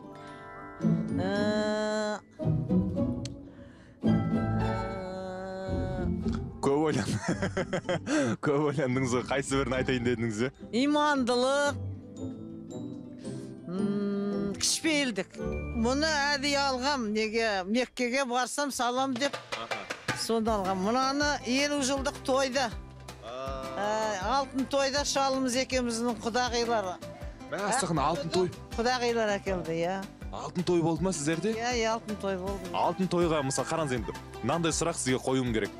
Отбасының береке бірлігі неде? Отбасының береке бірлігі бірлікте? Бірлік болу керек әрқашан ұйымшылдық болу керек. Ә, мынау да үлкен қызымның сыйлығы. Электронды сағат бар екен. Электрон сағат американский. Мынау давлениені жүрек- жүректі бәрін түсіреді. Бәрін қолдан аласыз ба мынаны? Сенсор жоқ жоқ мұны выписать етіп қызым алып берген ана сәлеметсіз апа жара. Қалайсыз апа? Жарайды жүр. Ой жүр енді. Алла ой рахмат подружкалар кетті әне. Достар. Жақсы. Ата? Міне апа әдемі апалар жүр ғой. Қайсы бір ә, таңдап қойғаныңыз жоқ па арасында? Өз апам бар ғой. Ой қандай керемет сексен бірдеміз екеуміз де енді айтыңызшы енді сіздің ойыңызша қалай енді? той тойладық. Алп, ә, алтын той толы содан кейінгі ке- келесі той қандай еді Ә, алпыс жылдықты да тойладым. Мәссаған енді алпыс екі жыл болды. Бірге тұрамыз. Отасқанымызға 62 жыл болды дедіңіз. иә. қазір екі жылға да жетпей ажырасатын жастар өте көп. Иә. Сондай ә, енді отбасын енді құрам деушілерге қандай кеңес бересіз? Кешірімді болу керек. Бір біріне кешірімді болу керек. Сыйластық керек. Ә, бірі ашуланғанда бірі біраздан кейін барып өзді басылады. Ешқайны біріне бірі артық сөз айтпау керек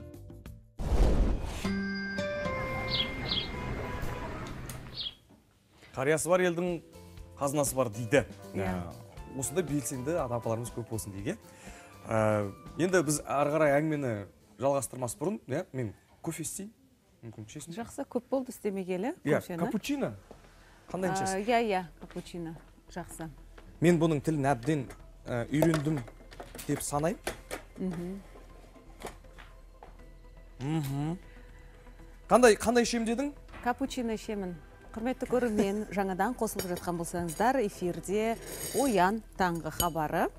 А, таң ертеңінен ерте сіздердің көңіл күйлеріңізді көтеріп таңғы керемет жағымды жақсы жаңалықтармен бастайтын түрлі ақпараттармен бөлісетін керемет бағдарлама күн, күнделікті күнде шығып тұрады. Эфирде алмас пен жұлдыз.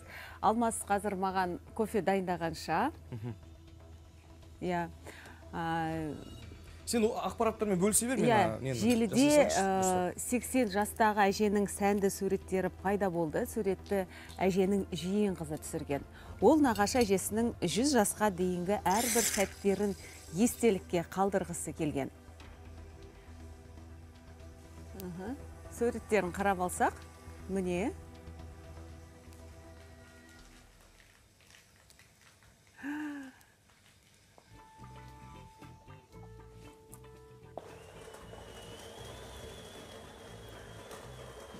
Қандай қандай өте керемет суреттер? Өмір мына суреттердің өзінде өмір бар. Қарашы алмас сыпайылық. Жапондардың ұзақ өмір сүру құпиясының бірі олардың халқы өте сыпайы сөйлескен кезде адамдарды ренжітпеуге тырысады. Халықтың өмір сүру ұзақтығы бойынша жапония көшбасшы ел болып саналады. Ал зейнеткерлері белсенді әрі сүйікті ісімен айналысқанды жөн санайды. Негізі расымен де өз ісімен айналысқан өте дұрыс. Кім? Қаламқас қаламқас келші. Иә жапонияда О, 80 кофе маған жастағы әдемі суретімен таңғалдырса ал 95 жастағы әйгілі италиялық актриса сенат иә? сайлауына қатысады. Джина лоли бриджида отставкаға кеткен ә, премьер-министр марио драги үкіметіне қарсы егемен және халықтық италия альянысы атынан үкіметкер болды. Үміткер болды. Альянс италияның еуропадағы ә, еуродақ пен натодан шығуын жақтайды. Италияда сенет ә, сенат сайлауы 25 қыркүйекке белгіленді. Иә лолло бриджида 1999 жылы еуропарламент сайлауында үміткер болды. 1950-1960 жылдары ол ең танымал және сұранысқа ие италиялық актрисалардың бірі болды. Актриса ондаған голливудтық және италиялық фильмдерде ойнаған екен. Оның түсірілім алаңындағы серіктестері әйгілі хамфри богарт пен шон коннери. Хабар арнасында тікелей эфирде оян таңғы хабары. Студияда оян хабарұлы жұлдыз абдукаримова және алмас тоғай. Иә құрметті көрермен күндеріңіз сәтті болсын дейміз. Ой рахмет қаламқас сен қайда қайда? Сен де жүгірейін деп пе едің? Мынау кофе ішкенде білесің бе айтпақшы? Ана кофе сататын неде істеген ғой? Кофейняда інім. Сонда айтады ә, болды? біз латте деп айтпаймыз латте деп айтады қате екен латте деп айтқан латте деп айту керек және эспрессоны экспрессо деп сұрайды екен көбісі. Экспрессо деген кофенің түрі жоқ эспрессо мен сондықтан қазір латте эспрессо жоқ мен латте ішемін сен капучино ішесің. Капучино қалай айтуға болады? Капучино капучино негізі таңғы асқа енді оянып жатсаңыздар ә, кофе емес. Бір стақан ә, жылы су ішіңіздер алдымен бірінші иә Иә, су иә. ішіп алу керек. Және кофеде негізі өзі не ғой ә, адам ағзасына суды көп шығарып жібереді ка- кальцийін Иә. жібереді. Ә, таңғы асқа жылы су ішкеннен кейін міндетті түрде таңғы асқа ботқа жеңіздер ақуызға толы дәрумен жаңағы дәруменге толы тағамдар ішіңіздер. Әрине судан кейін 20-30 минуттан кейін таңғы асты ішіп бастаңыздар. Кофе ішетін болсаңыздар таңғы астан кейін ғана ішіңіздер. Себебі жаңа алмас айтып кетті ол ағзадағы кальцийді шығарып тастайды көптеген дәрумендерді де шығарып тастайды. Бірақ зиян деп айта алмаймыз. Ә, сондықтан сондықтан иә кофенің кофені ұрттап отырайын. жақсы кофенің ең дұрыс пайдасы жайында айтқан дұрыс қой. Біз енді зиянын айттық көп ішуге болмайды әрине. Бірақ пайдалы жағы ол сіздің есте сақтау қабілетіңізге ә, пайдасын тигізеді. Біздің есекте мидың есте сақтау қабілетінің бөлігі осы алдыңғы жағында орналасқан екен. Осы кофені ішкенде сол мидың алдыңғы жақ бөлігі жақсы жұмыс істей бастайды. Мә мен кофе ішкеннен кейін неге басым күшті жұмыс істейді десем? Кофе ішкеннен кейін екен ғой. Екен екен кейін қалай кетті? Кофе ішпесе басым істемей қалады деген сияқты болып естілді ғой сен айтқан әңгіме. Иә құрметті көрермен сіз де егер де ә, шайыңызды қайнатып алдыңызға асыңызды алып жатқан болсаңыз ә, асыңыз дәмді болсын дейміз. Бізде қазір жарнамалық үзіліс содан кейін әңгімемізді жалғастырамыз хабарда болыңыз.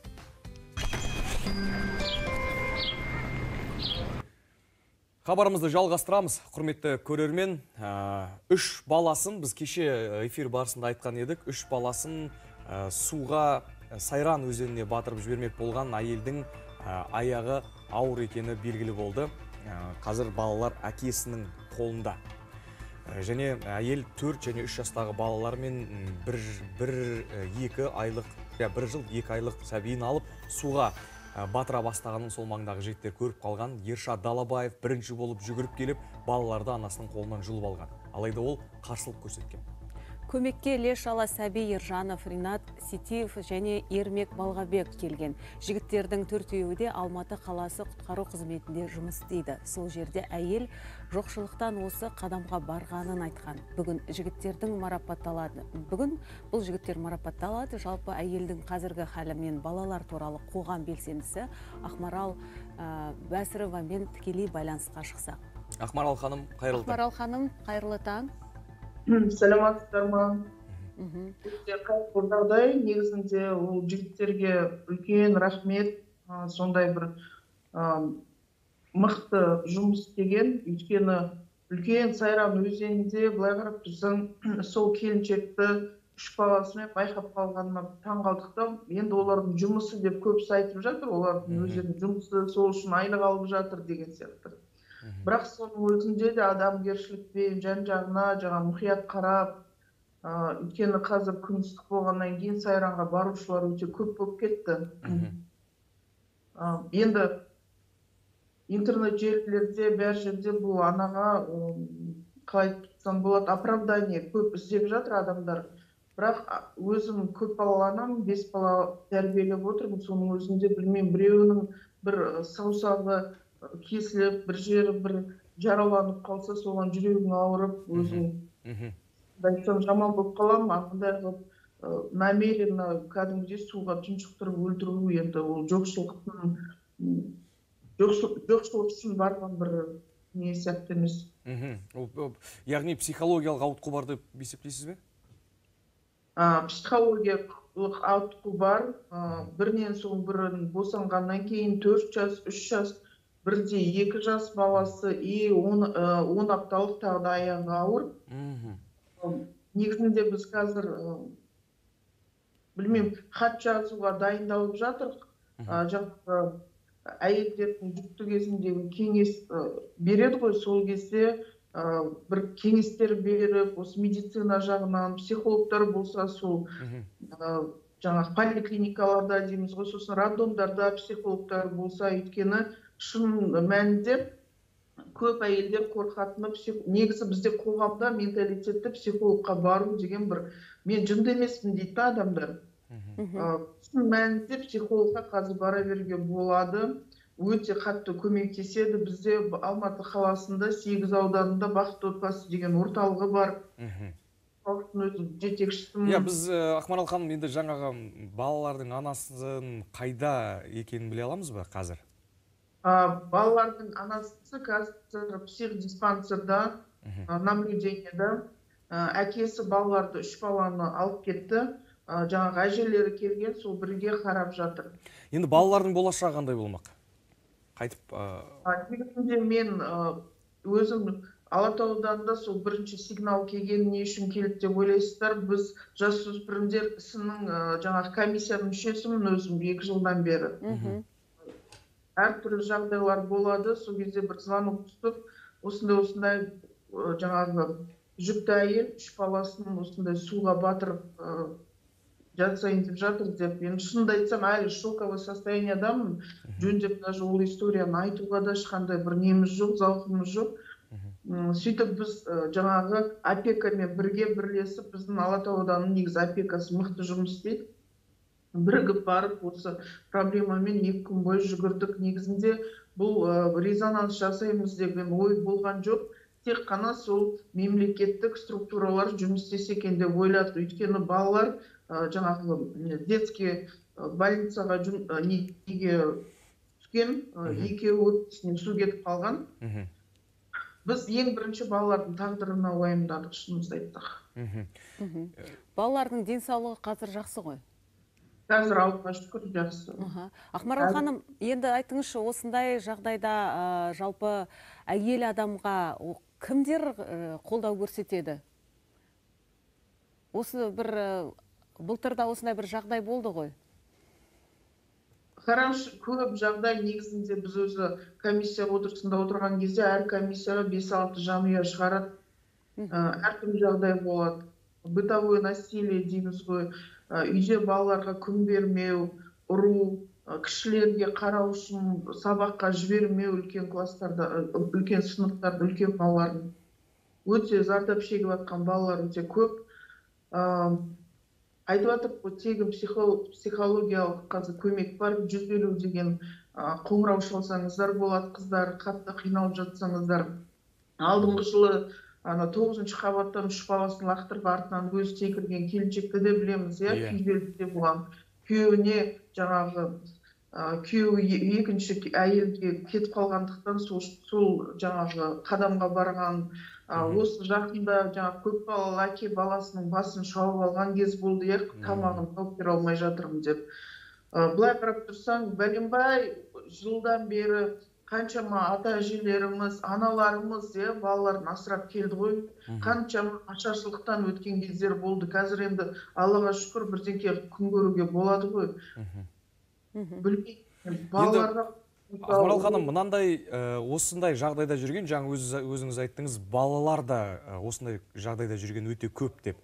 Мүмкін мектептерде де сондай бір жұмыс өткізу керек шығар. Мәселен баланың өзі ата аналарының ешқай- ешқайсысы айтқысы келмесе оған да себеп көп болуы мүмкін. Өйткені ұят болады ел не дейді деген сияқты іштей тұнып жүре береді де мүмкін сондай жағдайда баланың өзі сол жағдайды қолға алып біреуге хабарлау керек шығар. Ата анасына мүмкін жаңа сіз айтып отырсыз жүз елу нөмірі бойынша иә балалар да хабарласып айта ала ма соған?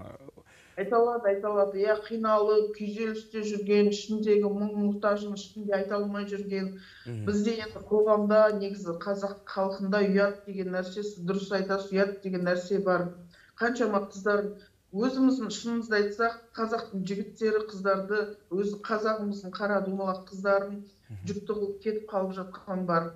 Ол қыздар жаңағы кімге айтарын білмейді. Ұят ауылына барайын десе жаңағы әке шешесін қара бет қылғысы келмейді. Енді өте көп мәселелер бар. Біз орталықта өте көп қыздарға көмектестік. Негізінде дом мамы деген бар. Сол жерге барса болады жүкті болып қалса енді ешкім былай қарап тұрсаң ол нәрседен не застрахованы мен де үш қыз асырап отқаннан кейін мен білмеймін ертең не болатынын. Бірақ әке шеше балаға жақын болу керек. Ана әсіресе қалай айтсам болады осы әлемде жаңағы елу пайыз ана әйел адам болса қалған елу пайыз сол әйел адамнан тәрбие алып өсиет алып өскен халық былай қарап тұрсаң ақмарал ханым ә, сізге көп алғыс айтамыз. Уақытыңызды бөліп ә, жаңағы болған жағдай жайында айтып бергеніңіз үшін ә, ата анасымен де жаңа психдиспансерге түсті деп отырсыз. Барлығы жақсы болады деген үміттеміз. Отбасында барлығы жаңағы иә ә, қалған балалар бар. Барлығы алдағы уақытта жақсы болады деген үміттеміз. Ел болып сізге көп рахмет айтамыз. Күніңіз сәтті өтсін. Әумин. Рахмет сіздерге. Сау болыңыз. Ал енді құрметті көрермен м, кейде болады енді айту керек ә, ақпарат иә. Ә, осындай кезде енді кішкене көздің жауын алар еліміздің көркем жерлеріне шамалы сапарлап тынып тынығып қайтуға болатын сияқты.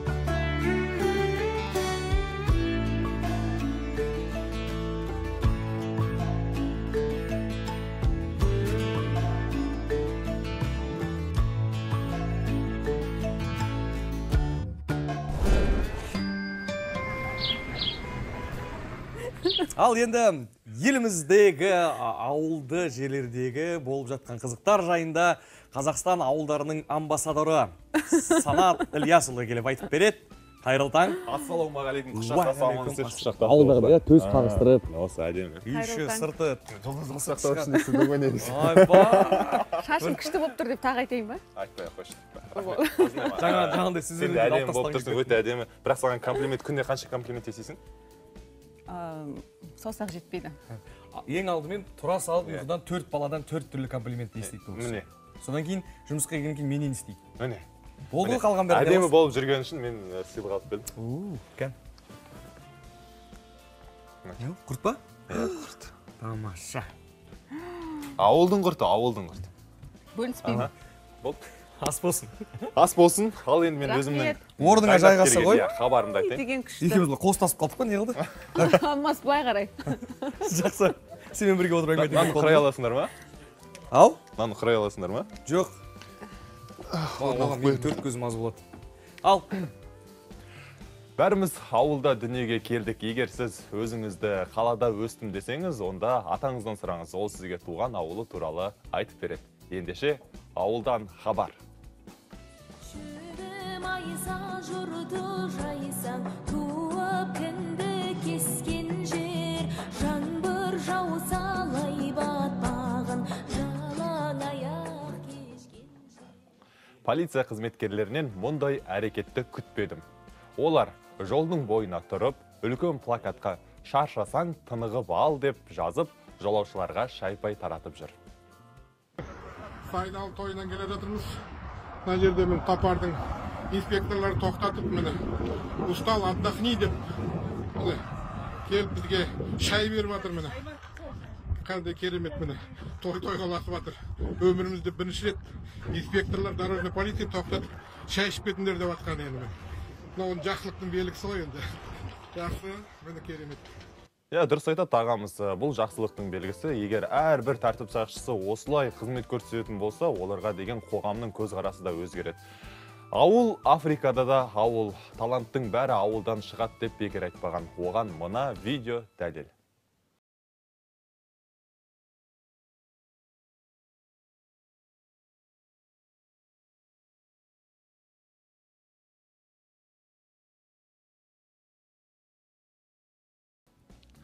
Ауылда не көп той көп. Мына бала әпкесін қимады ма әлде жездесіне көңілі толмады ма білмеймін әйтеуір тілекті қатыртты. Жезде жезде деп жезде болдың ғой енді.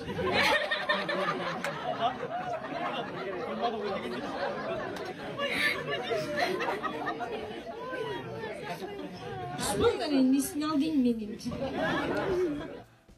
Мына баланың тұрысына қарасақ атасының баласы сияқты. Негізі атасының баласы болсаң ешкімнің қолы да сөзі де жүрмейді ғой саған. Айтпақшы жүк көлігін жүргізушілер шағымданып жатыр. Олар тиеген тауарды ауылдың бұзықтары тонайды екен. Тіпті қылмыстық оқиға видеоға түсіп қалыпты.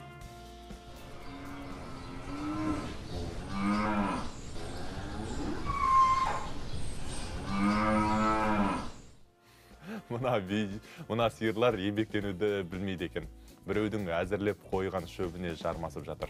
Құмырсқадан үлгі алмай ма? Ойбай ойбай маған отпускіге шығу керек уже болмайды больничный ма бір нәрсе алу керек маған. Ана шимен құмырсқа тісін таза- тазалағалы жатыр ма? Ә, ет жеп тісіне тұрып қалған шығар мүмкін. Десе де көмек керек сияқты. Маубастарға арналады. Егер үйіңізде сондайдың біреуі болса оятып дәл осы бейнені көрсетіңіз.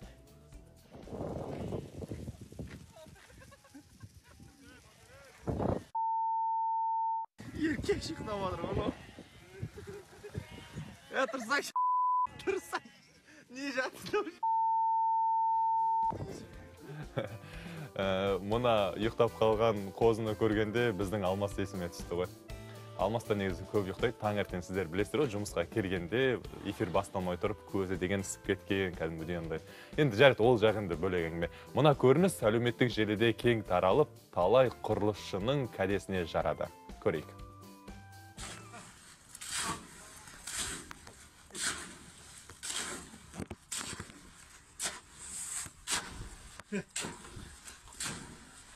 Үч жүз долларга мындай автомат сатылат бірлік бар жерде тірлік бар деп осындайды айтса керек. Рас біріксең алынбайтын қамал жоқ. Бұл видео соның дәл- дәлелі.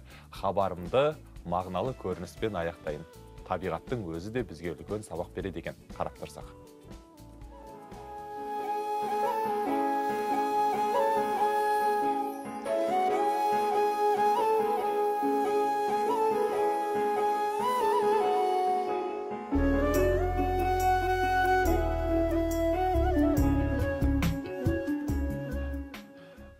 Болады ғой біреуге жақсылық жасаймын жақсылық жасаймын деп ақырында өзі кінәлі болып қалатын. Мына құмырсқа тура сондай екен. Ауылбай деген сөз бар. Рас ауыл бай табиғатқа бай көңілге бай дастарханға бай. Ендеше бай бай. Біздің бағдарламада көптеген қызықты хабарлар болады. Ендеше алыстамаңыздар бізбен бірге болыңыздар. Дәл қазір жарнама ғой.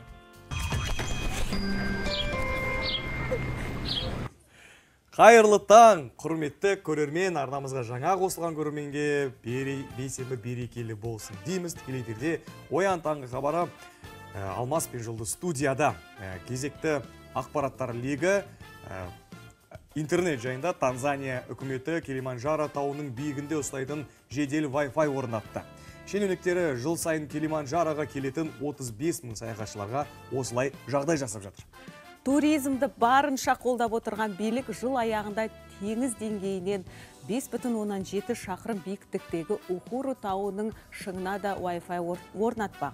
The Guardian атап өткендей Кил- Килиманджаро одағы интернет туристерге достарына көркем селфи жіберу үшін ғана қажет емес. Алайда, жергілікті халыққа биліктің Килиманжароға интернет орнату туралы шешімі ұнаған жоқ. Танзания экономикасының едәуір бөлігі туризммен байланысты болғанына қарамастан үкімет жергілікті тұрғындардың қажеттіліктерін ескермейді, дейді.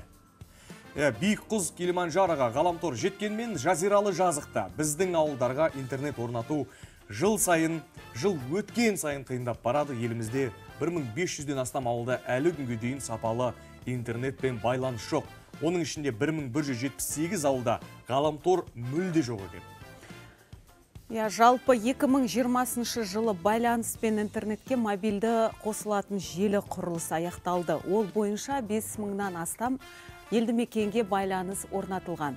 Алайда, ауыл тұрмақ қазір қалалардың өзінде кей жерлерде байланыс әлсіз. Нақты 5163 ауыл мен қалаларда интернет болса, соның 768 ауылдық жерде ғаламтор сапасы нашар екен.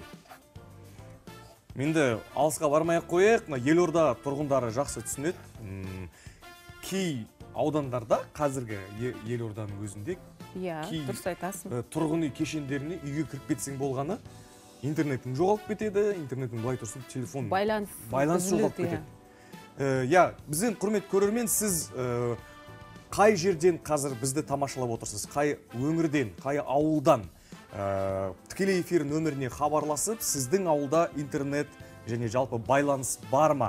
Сол жайында өз ойыңызбен бөліссеңіз э, бөліссеңіз болады. Жалпы интернет қалай ұстайды? Кей ауылдарда э, негізі 4G иә қалаларда барлық жерде көбіне кейбір ауылдарға барсаң 3G болып кетеді. Кейде э, е деген әріпке айналып кетеді интернет жоқ деп айта беруге болады Ә, сондықтан сіздің ауылыңызда интернет байланыс жалпы қандай? Біз енді осы тақырып аясында қазақстан республикасы парламенті мәжілісінің депутаты ә, геннадий шиповских мырзаны шақырғымыз келеді. Осы иә ә, төрлетсеңіз геннадий мырза ассалаумағалейкум. Осы тақырып аясында сіз иә ә, қош келдіңіз. Иә, геннадий мырза ә, өзіңіз депутаттық топ құрамында ауылды жерлерді араладыңыз өз көзіңізбен көрдіңіз. Қазір осы тақырыпты ә, үкімет үйінде көтеріп жүрсіз. Бірнеше идеяларыңыз да бар екен. Айтсаңыз жағдайды жалпы. Иә біріншіден қайырлы таң. А, шын мәнінде өте қуаныштымын осындай өзекті мәселе өздеріңіздей керемет осындай бағдарламада көтеріліп жатқанына өткен неге десеңіздер бұл мәселе сөздің шыны керек баяғыдан келе жатқан мәселе. Және де әлі әлі күнге дейін шешімін табу өте қиынға соғып жатыр неге десеңіздер өйткені біз енді жылда барамыз ең алыс алыс шалғай елді мекендерге. Өкінішке орай ол жерлерде мысалы бүгінгі таңда өзіңіз айтқандай бағана бір танзания мемлекетінде жұрттар қарсы болып жатса біздікілер қазақстанда қолдап бірақ соған жете алмай жатыр өкінішке орай. А, сондықтан да біз барған кезде осы мынау арнайы осы қызылорда облысы оның ішіндегі арал ауданы мысалға ақеспе қосаман мысалға ақбасты және де құланды деген алыс алыс елді мекендер бар. Сол жаққа барған кезде біз өкінішке орай баруына барамыз бірақ алайда а, айтуымызда кем жоқ. А, бүгінгі таңда аэроғарыш және де мысалы цифрлық даму министрлігінің бір ғана ай- айтуы бар. Мысалы ол қалай? Мысалы бізде интернет келіп тұр дейді. А, плюс 500 деген плюс 250 деген арнайы бағдарлама бар. Бұл не деген сөз? 250 тұрғыны бар елді мекендерге біз интернет қондырдық дейді да. Бірақ а, менің өзімнің депутаттық әрі азаматтық позициям және де егер де жалпы адам баласын логикалық тұрғыдан келетін болсақ біз біз бір нәрсені білу- білуіміз керекпіз бүгінгі таңда.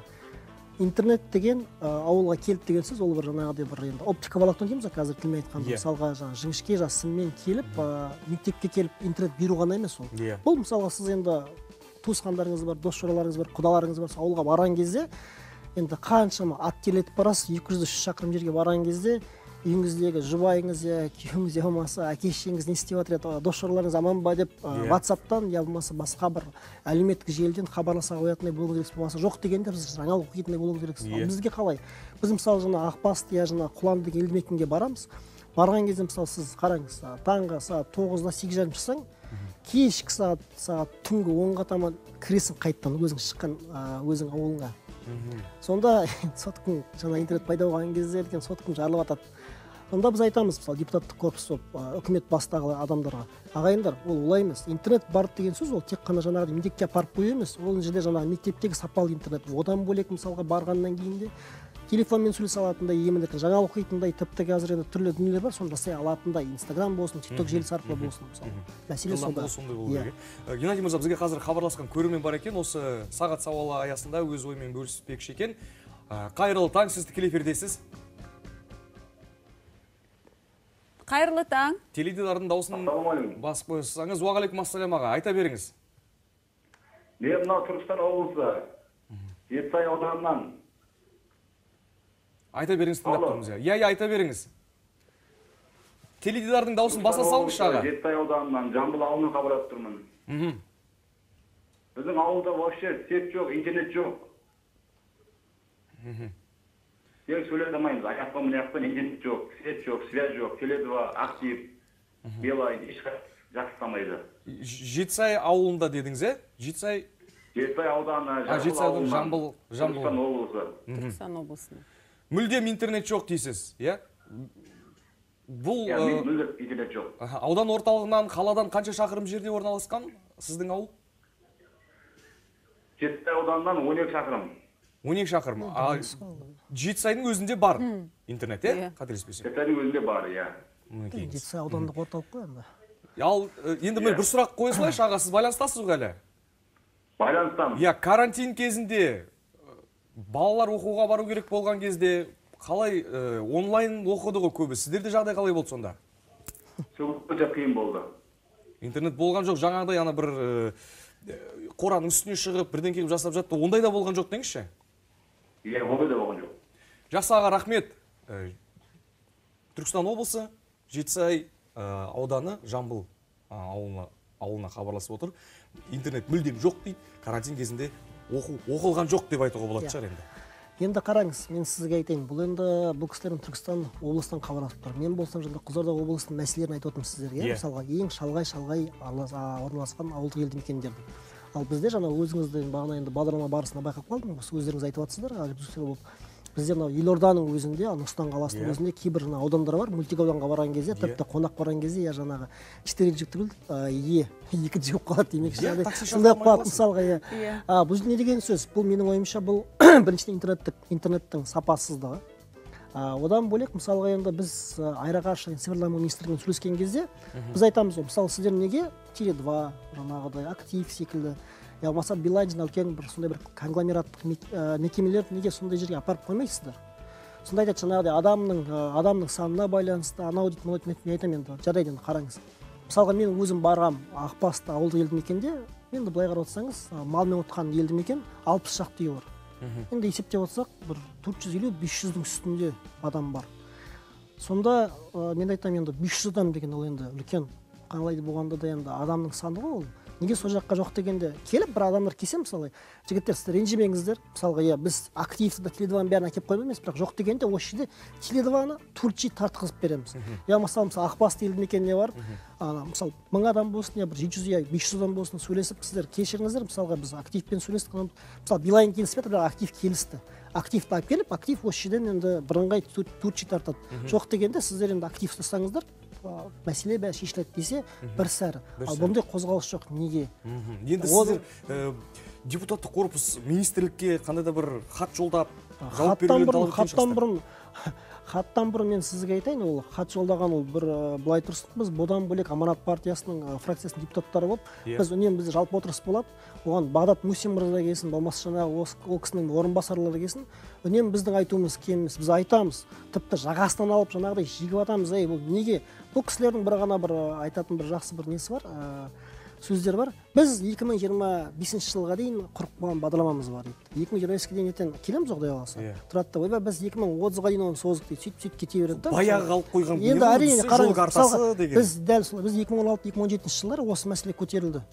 Интернет мәселесі. Сонда біздің ә, жаңағы осы басшылық ә, палатаның басшылығы одан бөлек біздің ә, бірқатар депутаттарымыз да осы мәселені көтерді. Сол кезде бізде мусинға дейін басқа министр болды. Ол кезде айтып олар екі мың жиырмасыншы жылға дейін біз барлық екі плюс екі жүз елу деп тұрған интернетпен адамдарды сан, ә, санды ауылдық елді мекеннің бәрін қамтимыз деген жоқ қой. Екі мың жиырмаға дейін дейді. екі мың жиырмаға жетіп едік аман есен. Енді ковидмен басқасымен аман есен Сол қалып кезде екі мың жиырма беске дейін созып жатыр енді қазір. Басқа екі мың жиырма үш дейді. Мен айтамын енді ол былай болмайды негізінде. шешу керек жұмыс істеу керек болмаса егер де ол министрдің адамдары жұмыс істемей ма мүлдем жұмыстан кету керек. Болмаса мен енді мен өзім де талай тикток желісінде де басқа да инстаграм желісінде де өзім белсенді азамат болғаннан кейін мен Иә. тіпті айтқанмын. Сіздер былай біз мынандай бір технология енгізу, енгізуіміз керекпіз. Менің ойымша министрлар я вице министрлар сапалы түрде жұмыс істеу үшін мысалға қараңыз депутаттар жоқ дегенде жылына төрт рет елді мекенге барады. Жоқ дегенде оның ішінде мысалы мен мен барлық депутаттарды айтпай ақ қояйын бірақ өзіме жеке келетін болсам мен өзім алыс алыс шалғай елді мекендерге барып отырсам тіпті жаңағыдай түйелердің арасына барып мал қораның ішіне кіріп бір бір оның бір жақсылығы үлкен. Сіз барған кезде сіз халық немен айналысатынын қалай жүретінін байқайсыз түсініп отырсыз ба ал егер де өйтіп бармасаңыз ол бәрі бекерден бекер. Сондықтан да мен ойлаймын осы жоқ дегенде жаңағы аэроғарыш және цифрлық даму министрліктің бес орынбасары бар. Дұрыс па? Иә. неге сол төрт бес орынбасары тек қана қалалық орталыққа бармай аудандық орталыққа бармай неге ауылдық елді мекенге бармайды? Барып қойсын біз барған жерге мысалы. Ол жақта адамдар тұрып жатыр ғой. Ол жерде қазақстан республикасының азаматтары тұрып жатыр. Неге бармасқа? Барсын көрсін. Сол кезде жаңағы қолындағы ең жаңағы озған модель телефонмен звондап көрсін қалай? Үйдегілермен ватсап жаңағы бейне қоңыраумен шыға ала ма шыға алмай ма? Өзі мәселе жетіп өзі хабарласып көрсінші деңізші. Бізде бір көрерменіміз хабарласып отыр екен. Қайырлы таң сіз тікелей эфирдесіз. Сәлеметсіз бе? Алло? Сәлеметсіз бе? Сәлеметсіз бе. Мен баянай күләш деген ә, бесағаш ауылының ә, тұрғынымын пенсионер.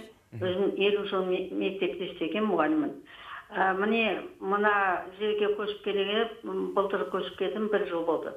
Бір жылда біз осы интер- интернет ала алмай отырмыз. Өйткені олар айтады портал бос емес орын жоқ. Сондықтан ә, сізді қоса алмаймыз дейді. Мына маңайымыздың бәрінде бар. Мен ә, жаңадан келген жаңа үй салғам.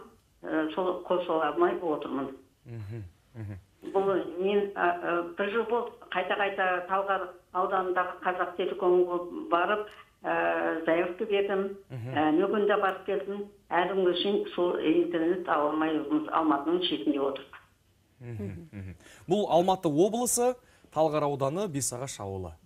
Қарап тұрсаңыз. Иә. бұл да аса а- алыс емес қой иә Алыс қателеспесем, емес, иә. аудан орталығы мына алматының шетінде алты километрде тұрамыз. Думан думаннан кейін біз қос алыстау сізге мына жер қос алыстау. қоянды қоянды алыстау иә. Мен мен айтамын ауылдың шетінде тұрып біз ой алматының шетінде тұрып не интернет жоқ деген сұмдық қой. Айтсам ой күтіңіз сөйтіңіз бүйтіңіз дейді енді бір жыл бір жылдан асып кетті күткеніміз бұл не деген сұмдық деп айтамын. Менің балаларым немере дейтін бар. Оқуға баратын кей кезде оқу онлайн болады. Сондықтан ол керек қой бізге. Күләш апа сізге көп рахмет байланысқа шыққаныңызға ә, хабарласқаныңызға. Енді мен мына жерде тура күләш апайым сияқты қарапайым тұтынушы ретінде сұрағым келеді. Неге бізде бұл енді монополия сияқты ғой иә? Қарап тұрсақ. Қазақ телеком ғана шешіп тұр ма бұл мәселені? Сонда байлап алады білгендерін айтады. Күт болмаса білмеймін қазақ білген көшіп кет деген сияқты. Қазақ телеком болғанда бұл жердегі көптеген мәселелер қазақ телекомнан басқа. Мысалы Иә. қазақ телеком бізде жалпы ұлттық барлық жүйені қарайтын болса бізде одан бөлек логистикаға байланысты мысалы транстелеком деген бар. А, одан бөлек ә, басқа да бар жаңағыдай басқа бір позицияларға келетін болсақ одан бөлек жекеменшік жаңағыдай интернет компаниялар бар. Бірақ түптің түбінде барлығын куратор етіп барлығын реттеп отыратын арнайы мемлекеттік орган болып аэроғарыш және цифрлық даму министрлігі болып табылады. Және де мен айттым бағана осы эфирдің барысында. Иә. Дәл сол министрліктің басты өкілі ну вице министр допустим да или болмаса жаңағы вице министр бола тұрып мысалға айтып тұрмын ғой кез келген компанияларды жинап алып ағайындар бізде осындай ортақ мақсат бар жұмыс істейік. Неге ә, біз бұны істей алмайтын бұның жоқ деген жерлерін іздейік қарайық. Осы жаңа өзіңіз айттыңыз ғой қанша бағана ә, бір мыңда мың, мыңға жақын интернетпен қамтылмаған иә, ауыл иә, бар нақты мың бір жүз интернетпен қамтылмаған. соны жоқ дегенде енді қараңыз он алты он жеті он жетінші жылдан бері көтеріліп келе осы мәселелер. Жоқ деген мен айтпаймын бір жылда мың ауылды істеп тастау мүмкін емес. Иә. оған бары қаржы керек уақыт керек. Бірақ жоқ дегенде әр жылда жүз елу екі жүз ауылды істеп істеп болады ғой істеуге мысалы. Болмаса енді тағы да сізге бір ұсыныстарым енді жаман үйдің қонағы береді дейді бірақ дегенмен айтып кетейін. Әрине Иә, сөз жетім болмасын деген жаңа айтылған айтылған сөз айтылған оқиға бірдей демекші. Келесі де осындай бір маңызды тақырыпқа қозғалған кезде меніңше мысалы мен енді парламенттің өкілі болып табылғаннан кейін парламент деген бүгінгі таңда білесіз бұл нақты біздің бүгінгі таңда азаматтардың өкілдерін ұсынатын азаматтар. Яғни біз халықты халықтың жаңағыдай барлық сөздерін делегат етіп отқан азаматтармыз дұрыс па? Иә. меніңше осыған байланысты тағы да бір а, тиісті мемлекеттік органнан Бірге адамдарды шақырсаңыздар меніңше сол кезде эфирлеріміз де әлдеқайда қызық болады және де Батыл деңізші орыстар айтпақшы жаңағыдай игра в одни ворота не будет Иә, иә, ол жерде айтып жатыр айтып жатыр қанша ертеңгі таңда осы сөз қалып қойса ол да ертең сөздің атасы өледі ғой айтылмаған өкінішке қарай. кешіріңіз жақсы Иә, жоқ жоқ иә, ә, ескерер жайт расымен де енді бұл эфирден кейін қазір енді біз бір көрерменімізді тыңдап алайық содан кейін біз өзімізше бір енді ә, белгілі тиісті органнан адам болмаса да өзімізше бір келісім жасайық иә? Содан кейін ары қарай жалғастырамыз. Ә, хабарласып отырған көрермен бар екен. Тыңдасақ сәлеметсіз бе? Тікелей эфирдесіз. Қайырлы таң. Алло. Құрметті көрермен. Қайырлы таң. Тікелей эфирдесіз. Иә тыңдап отырмыз.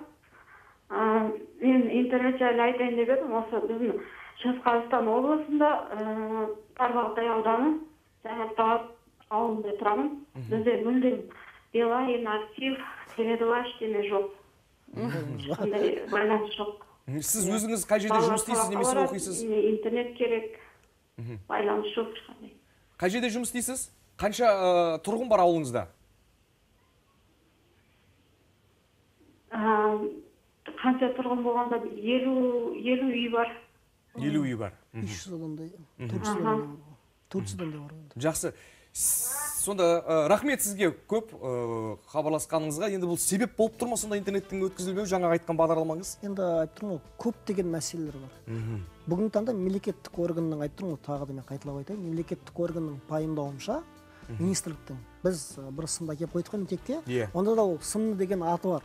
Одан бөлек мен ол жерде мен бардым ғой ауылдарды мен өзім жағалап көрдім. Маған осы жерде бүгінгі таңда мемлекеттік органнан бірде бір адам айта алмайды. Жоқ сіз өтірік айтасыз деп маған. Иә. Бар. кешіріңіз жаңағыдай ауылдар. Иә. барға барасыз. Иә сым тұр интернет келіп тұр. Бірақ оның тағы мегабит деген бар ғой жылдамдық білесіз ғой? Иә, иә, иә. о жылдамдықтың төмен сапасыз жылдамдығы бар. Тіпті мен қандай мектептің директоры айтпай ақ қояйын бірақ мектептің директоры кейде бізге айтады ойбай ау геннадий геннадьевич біз интернет әкелген деген ат галочка болмаса мына жерде кейбір файлды жібергеннің өзінде бізге ұзақ уақыт алады дейді. Көрдіңіз ба мәселе вот мәселе сода ол енді біз орнатып қойдық қойып қойдық деген ғана бір не для галочки мысалы оны істегеннен кейін тура сапалы қылып істеу керек қой мәселе сода мен енді жаңағы сіз тиісті органмен қатарласып менде шақырғандарыңызға дұрыс болар еді деген нәрсенің мынандай бір нұсқасын ұсынғым келіп тұр. Қазір енді біз тікелей эфирде отырмыз. Бұл міндетті түрде Иә. кесіліп әлеуметтік желілерге салынады. Бұл проблема көтеріліп отыр. Енді сол тиісті органдардың өкілдері ә, көрсе көреді ғой міндетті түрде иә. Сосын бір белгілі уақыт берейікші. Осы тақырып аясында қандай да бір өзгеріс болады болмайды деген сіз өзіңіз енді депутат ретінде пәлен уақыттың ішінде көрейік. Өзгеріс болмаса енді мені қайтадан шақырыңыздар. Және тиісті органның өкілімен бірге қайтадан мен, мен дәл дайынмын өз басыма. Нема кез келген кезде шақырсаңыз болады. Мемлекеттік органның өкілімен бірге болсын. Иә бөлек болсын. Мен қанша уақыт береміз сол кісілерге енді? Сіз депутат ретінде өзіңіз айтыңызшы. Енді мен білмеймін. Былайынша келгенде қазір біз енді жалпы жоқ дегенде адам бір екі үш айдың көлемінде бір нәтиже шығару керек. Жоқ дегенде ол ауылдарды елді мекенді аралап жоқ дегенде келіп міне мысалға құрметті бұқара қауым осындай мәселе көтерілген екен. Иә біз бүгін мысалы осындай ауылдарға бардық. Оңтүстік қазақстан бойынша жаңағыдай мысалы жетісайға да барып қайттық. Иә. жаңа дисағашқа да бардық алматы облысына. Жаңағы шығыс қазақстан Шығыс жатыр ауыл Қазақстан, деді Тарбағатай. иә тарбағатай ауданына бардық деді.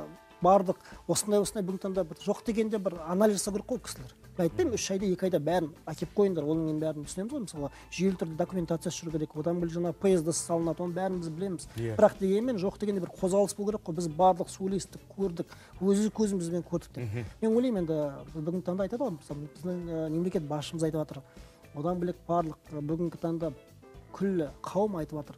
Біз жаңа қазақстан жаңа қазақстан деген не? жаңа қазақстан деген бұл әділетті қазақстан. Әділетті қазақстан ол барлық азаматтар үшін бірдей болуы тиіс. Бұл мейлі жаңағыдай өзіңіз айтқандай осы нұр сұлтан қаласы не алматы қаласының тұрғыны болсын болмаса анау алыс елді мекендерге шалғай елді мекендердегі құланды және мен айтқандай ақбасты азаматтың екеуінің мүмкіндігі бірдей болу керек ол сол кезде біз жаңа қазақстанды нақты сезіне бастаймыз. Енді сіздің осы мәселенің көтеріп отырған мәселенің өзектілігінің дәлелі қазір мен ә, шығармашылық топтың бізде аппарат ә, студиялық базасы бар. Сондағы телефонның шырылы үзілмей жатқанын айтқым келіп отыр. Бұл мәселенің өте өзекті. Екенін дәл солай қаладан 10-15 Иә, шақырым жерде орналасқан ауыл жерлер ол жерден елу емес кемі 500 үй бар жерлер. Мен жаңа айтып отырмын ғой мен өзім де елорда тұрғыны өзімнің қазір тұратын үйімде үйге кіре салысымен бітті байланыс жоқ болып кетеді. Кіріп тамағым ішіп үйтіп бүйтіп болып бір кез бір пайда болған кезде ә, жіберіліп қойған өткізіліп қойған ә, жаңағыдай телефон хабарлама келіп неге жоқ болып кеттің деп алып а мен оны ешқандай Иә, мән берген жоқпын. сөйтсем қарап тұрсам қаған- қаланың қақ ортасында тұрамын негізі қарап тұрсаң. Сол жағалауда. Жалпы ә, геннадий мырза иә алмас дұрыс айтады өзіңіз де айтып кеттіңіз жаңа қазақстан деп иә? Жаңа қазақстан болғандықтан өзім мәселен ә, туризм жайлы туризмге тоқталайықшы иә туризмді дамыту керек. Ә, шетелден азаматтарға өзіміздің елді көрсетуіміз керек танытуымыз керек деп жатады алайда біз енді ә, өзім жаз мезгілінде барамын. Мәселен ә, алматы қа- қаласының көлсай қайыңды деген әдемі көркем жерлеріне барамыз да туризмді біз енді дамытайықшы жарайды өзіміздің еліміздің деп. Бірақ барған кезде әлеуметтік желі былай тұрсын байланыс үзіліп қалады. Жарайды әлеуметтік желі қоя тұрсын бірақ ә, байланыс ауыл жаңағы қалада өзіміздің бала шаға қалады ата анамыз қалады байланысатын. Аман есенбіз. Ә, жеттік деп айта алмайсың ғой. Дұрыс. Тіпті иә. Кірдің бітті. Ол жақ сол рас мынау қазір бізге хабарласып жатқан көрермендердің географиясын ауқымын айтайықшы. Көбіне ә, алматы облысы шығыс қазақстан жаңағы Оңтүстік шығыс оңтүстік шығыс оңтүстік қазақстан облысы. Ә, мынау ә, тіпті ана әуежайдың маңында да ә, ғаламтор Иә, интернет иә. жоқ байланыс жоқ деп хабарласып жатқан көрермендер бар екен. Ә, енді қазір байланыста бар ма екен бізде ә, көрермен хабарласып отырған? Байланыстырсаңыздар қоссаңыздар сәлеметсіз бе? Сіз тікелей эфирдесіз қайырлы таң. Қайырлы таң. Біз сізді естіп тұрмыз. Аға теледидардың дауысын сөндіре салыңыз сол кезде кедергі болмайды.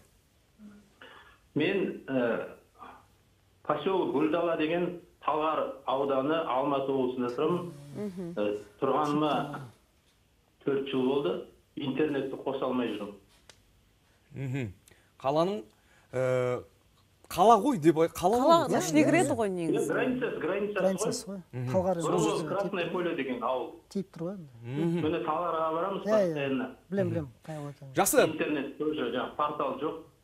Әне міне әне міне қоса алмай жүрміз. Сізді түсіндік. Көп рахмет. Байланысқа шыққаныңызға енді менде мынандай сұрақ. Есіңізде болса мына карантин кезінде әсіресе ә, не қылды ғой? Шулап кетті ғой бір. 4G жаңа тартады деген вышкалар иә? Иә. Ә, бұғаналар бағаналар қойылды.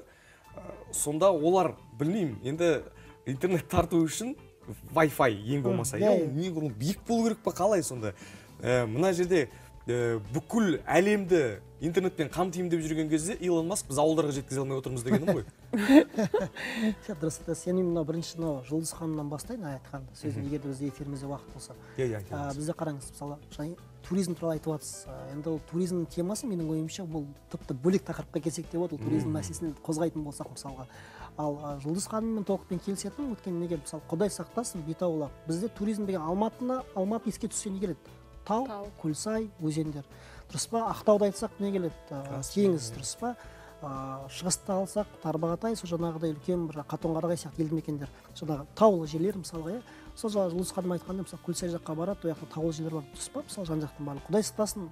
Тауға өрлейтін адамдар да бар. Ә, енді қазақтың бір жақсы сөзі бар ғой. Жаңағыдай таудың баласы тауға қарай өссе қырдың баласы аспанға қарай өседі демекші Иә. жаңағыдай. Мысалы дәл сондай ә, әңгімелерде мысалға сондай азаматтар бар баратын Иә. тау, тауға да қызығатын альпинизм дүниемен айналысатындай. Құдай сақтасын. Құлап кетті басқа болды жарақаттанып Шарын қалды. бар. иә Ол жерде құдай сақтасын оқиғалар ілініп қалады ілініп қалады мысалы. Звондайын десе иә ватсаппен жаза алмайды мәселе сода көріп отырсыз ба? Ол көптеген қауіп қатерлер бар. Менің ойымша ол дұрыс емес. ә, сөзіңізді бөлгенім үшін кешірім сұраймын. Ә, біз енді ә, интернет тақырыбын көтердік мынандай келісімге келейік деп біз жаңағы өз Иә, иә, сөзімізді түйіндейік. Үш ай уақыттың ішінде бір әйтеуір өзгеріс болса екен деп отырсыз ғой. Мүмкін оған жеткізбей де біз дәл осы тақырып аясында алдағы апталардың ішінде тағы да өзіңізді шақыра отырып ә, тиісті орган өкілдерімен бірге иә осы тақырыпты тағы да көтерерміз алдағы уақытта. Сізге уақыт тауып келгеніңізге көп алғыс білдіреміз. Иә енді бұл мәселе расымен де сіздің бастамаңызбен шешіледі деген сенімдеміз үміттеміз.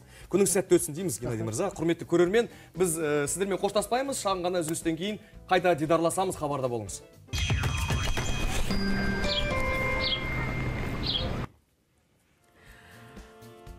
қайырлы таң қымбатты көрермен. Бүгін бейсенбі. Бейсенбілеріңіз берекелі өтсін дегіміз келеді. Эфирде алмас. Сөйлемейтін болған қазір. Алмастың орнына Фонограмма. мен сөйлеймін. құрметті көрермен көтеріңкі көңіл күймен әрі қарай жалғастырайық. Эфирімізде естеріңізде болса америкалық режиссер оливер стоун қазақстанның тұңғыш президенті нұрсұлтан назарбаев туралы қазақ алтын адам тарихы атты деректі фильмін түсірген еді. Сол жоба үшін ұлттық киноны қолдау мемлекеттік орталығы стоунға 7 миллион доллар берген екен. Фильм түсірілген уақыттағы курспен санағанда 2,7 миллиардтай теңге. Бұл туралы журналист михаил казачков жазды. Ал орталықты сол кезді ә, сол кезде кейін ә, жемқорлығы үшін сотталған продюсер гүлнар сәрсенова басқарған олигарх рашид сәрсеновтың әйелі 400 миллион теңгеге жуық ақшаны жымқырғанымен қылмысы үшін сотталған бойда бірден қайтарып нәтижесінде қылмыстың іс тоқтатылды Тағы бір маңызды сұрақ. Ә, Орталық 7 миллион долларды қайдан алды? Фильмге Қазақстан Республикасының тұңғыш президенті елбасы қоры тапсырыс берген, яғни қордың иесі фильмнің ақшасын өзі төлеген. Ә, Құрметті көрермен, енді Оливер Стоун негізі ә, талай тарихта қалған есімдерін алтын әріппен қалдырған тұлғалар туралы ә, фильмдер таспалаған. Оның ішінде Уго Чавес бар, деген сияқты. Иә соның қазақстанның тұңғыш президентінен бөлек ол ә, қазіргі ресей президенті путин туралы және бір мемлекетті елу жыл басқарған куба мемлекетінің президенті фидель кастро туралы түсірді. Соңғы саясаткер жөнінде үш бірдей деректі фильм шығарды. Иә одан бөлек ә, тағы бір саяси қайраткер пластина мемлекетінің а, палестина мемлекетінің бұрынғы басшысы ясир арафат. Венесуэланың бұрынғы президенті чавес уго туралы қайтыс болғаннан кейін бір жылдан соң менің досым уго атты деректі фильмдер түсірген екен. Иә бұл енді алысқа бармай ақ қояйық көрші ресейдің президенті владимир путин бұл фильмді түсіруге қанша ақша бергенін мен білуді қалаймын. Ал арулар не қалайды? деп сол тақырыпқа қалай өткізіп жібересің иә біздің аружан да өзінше бір ә, жаңа кәсіпті ә, игергісі келген екен. Одан не шықты? Арулар не қалайда?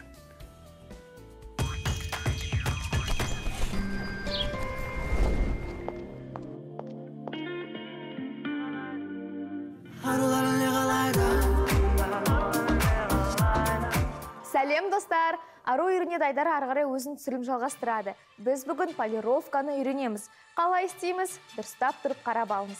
Кеттік!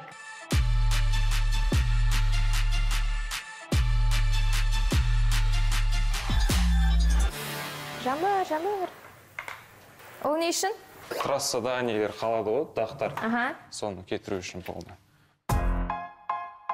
Қыздар сізге түсінікті болу үшін бұл біздің гидрофилді майларымыз секілді бірінші бетімізге бояуды кетіру үшін майын жағамыз да бет қолмен уқалаймыз. Сол секілді осы көйлегіміздің капотын дұрыстап жуып аламыз. Болды ма? Иә болды. И енді суды алып тастаймыз. Аты қалай оның? Сгонка сгонка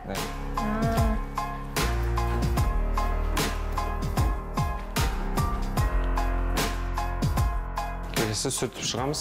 Полировкада су қалмау керек. Полировка істеген кезде. Полировка аппаратын аламыз. Өзінің специальный пастасы болады. Түрлері көп бола ма? Түрлері көп болады. Үш слой болады. Үш слой. үш слойда үш түрлі паста болады.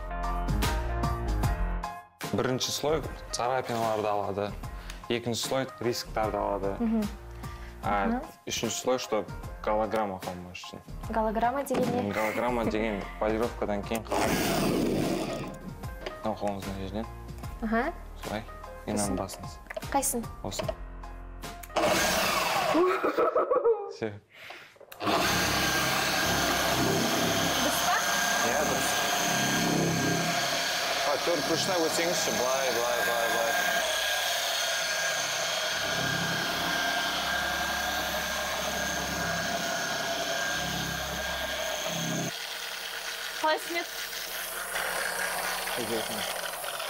А. неге екі үш күн ұзағынан жасалады ғой бұл көп осылай бәрін өйстіп өту керек болады асында бірінші қабаттан кейін ә, күту керек иә иә күту керек и тағы да бір рет басқаша машинкамен ал неше арақты күтуіміз керек бір бір сағат енді келесі кезек бізде осы көліктің қанатында әлібек енді дәл солай істейміз иә? Бірінші жуып аламыз сүртіп аламыз иә? Иә тура солайынан істейміз бірақ бұда пластиковый элементтер бар. Мгм. соны өзіміз өзінің специальный скотчмен жабыстырып шығамыз. Бұл пластиковый элемент бұда краска жоқ бұл ағарып кетеді. Полировка кезінде қандай ережелер бар? Осындайды істеуге болмайды немесе керісінше істеу керек мысалы мынандай жерлерде. Аха бұрыштарында иә? Бұрыштарында. Краска өте слабый болады. Сондай кезде красканы алып жіберуге болады күйдіріп жіберуге болады. Күйдірмеу үшін не істеу керек? сондай кездерде абай болу керек. Жай мына жерлерін қатты істемей. Бұл спанч бобты аламыз да сосын сумен шашамыз иә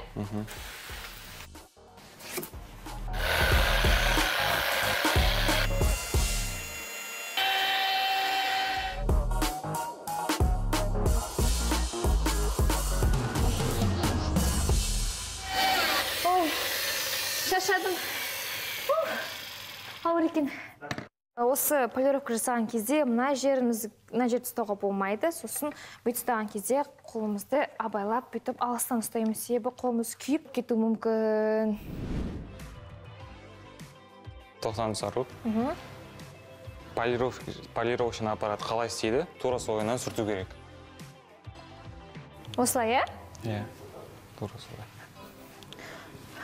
Қолым шаша қалды мына жерде. Мына жерде.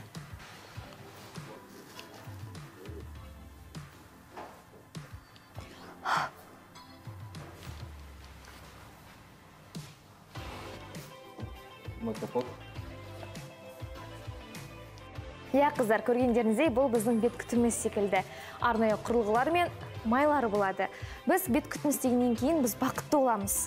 Бақыттан басымыз айналып өзімізді жақсы сезінеміз. Сол секілді бұл көлікте өзін жақсы сезініп тұр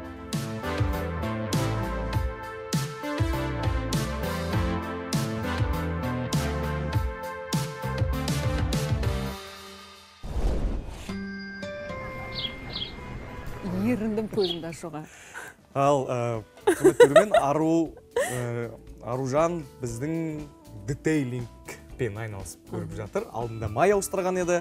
Рас, расымен де көлігіңіздің бары да жоғы да қарап тұрсаң проблема өйткені бар жағы осындай ауыстыру керек істеу керек. Ол да бір кәдімгі мен саған айтайын ба? Жалпы арулар не қалайтынын не қалайды айтшы? Ару осымен не айтқысы келгенін не айтқысы астарлап түсінбейсіңдер иә еркектер. Ал? Ер азаматтар дейінші бұнымен арулар айтқысы келгені барлығын сіздер қолдарыңызға алсаңыздар дегені ғой. Енді ол Біз жердегі жасамаймыз оны. сондай орталықта жұмыс істейтіндер сіз маған ақшаңызды берсеңіз мен барлығын өз қолыма аламын деп тұрып күтеді ғой.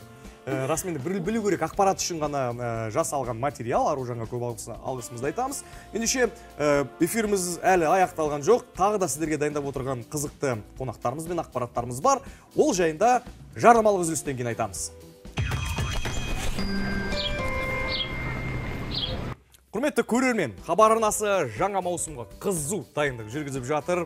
Ә, кеше ғана тікелей эфирде біз жаңа мега жоба жеті қазына атты жобаның шығармашылық ұжымын шақырдық жетекшісін және қатысушыларды Ә, еліміздің 20 қаласынан ұжым қатысып жатыр. 10 түрлі сайыс оның ішінде жаңа күй ән би спорттық шаралар ұйымдастырылған ә, Иә. додалар ұйымдастырылған. Енді әр жексенбі төртінші қыркүйектен бастап жеті қазына жобасы сіздерге жол тартады.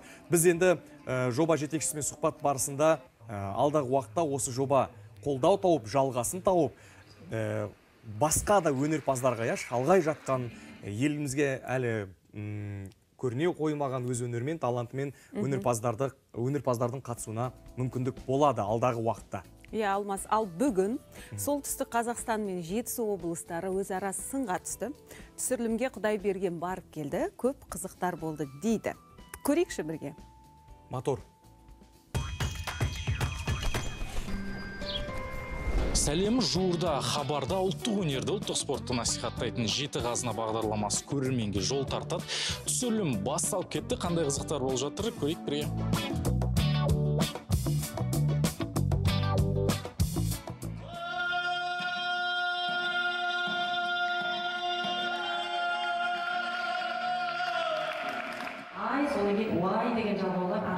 Артық сияқтасын уаймен бітіргеннен гөрі аймен аяқтасаң дұрыс болатын сияқты. Жаңа қазылар алқасы критика айтып жатыр.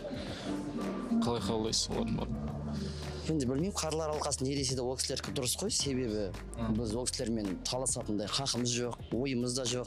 Су жаңа хит ақынды қарсы алыңдар дедімді бұл ы, дәстүрлі өнер додасы болғаннан кейін біз былғанбаған жалғыз осы өнерімізде енді соны былғамай ақ қояйықшы басқа сөзбен бөтен сөзбен рас деген нәрсе бар ғой. Енді жалпы осы хабар арнасына жалпы ә, айтатын алғысымыз шексіз себебі мынау ауылдан мысалы менің өзімнің жеке басымда қаншама танылмай жатқан елді елден жерді жерден келіп жатқан таланттар міне осы хабар телеарнасы арқылы жарыққа шығып өздерін сахнада сынап көріп жан жақтың ә, мысалы ақындарын көріп термеші жыршыларын көріп ертең пікір алмасу деген болады ғой. Сондықтан тәжірибе жинау үшін жалпы жақсы дүние. Танылмай жатқан таланттар қазір бар ма? Келіп отыр ма? Танылмай жатқан мен өзім танылмаған басқалар үшін жауап бере алмаймын. Жалпы былай облыс облыс болып тайталасу бақ сынасу қаншалықты қызық? Өте қызық. Өйткені ә, әрқайсысының өз менталитеті болады. Менте- ә, характер исполнение деген манера. Ә, бүкіл жерде айырмашылық бар. Даже мысалы қолдарымыз қимылдатқанда біздің өңір былай жасайды. Например мысалы оңтүстік өңір өңірі мысалы басқаша жасайды. Сіздердің өмір қалай жасайды? Біздің өңір былай жасайды а, бізге би қоятын кісі оңтүстіктің өңірі ол бізге былай көрсетеді. Қолды ажыратпай. Біз оған дейін мысалы былай істедік. Бұның бәрі есепке алынады. Хореограф жайдан жай отырған жоқ ол оның бәрін көріп отыр. түсінікті. Ұнады. кім жеңді енді қалай ойлайсыз бүгін Ә, кім жеңді болғанда бізде көрініспен алып келген би болғандықтан біз өзіміз сенімді болып келдік. Орын біздікі болады деп. Жақсы жақсы. Әдемі болыпсыз А, бұл костюмді өте жаңағы сирек киемін. Сирек. Көбінесе эстрада көйлектері сондай. Жалпы эстрада көйлегі ме осы қазақы көйлектер ме көбінесе эстрада көйлектерін киемін. Өзіңізге қайсысы ұнайды маған қазақи осындай қазақи нақышта өзіміздің көйлектер ұнайды шынында. Мхм. Бірақ ол киіну қиын сондықтан кимеймін деңізші иә енді оңай емес. Бұрынғының қыздары қалай жүрген деп ойлайсың да. Оңай емес қаншама еңбек.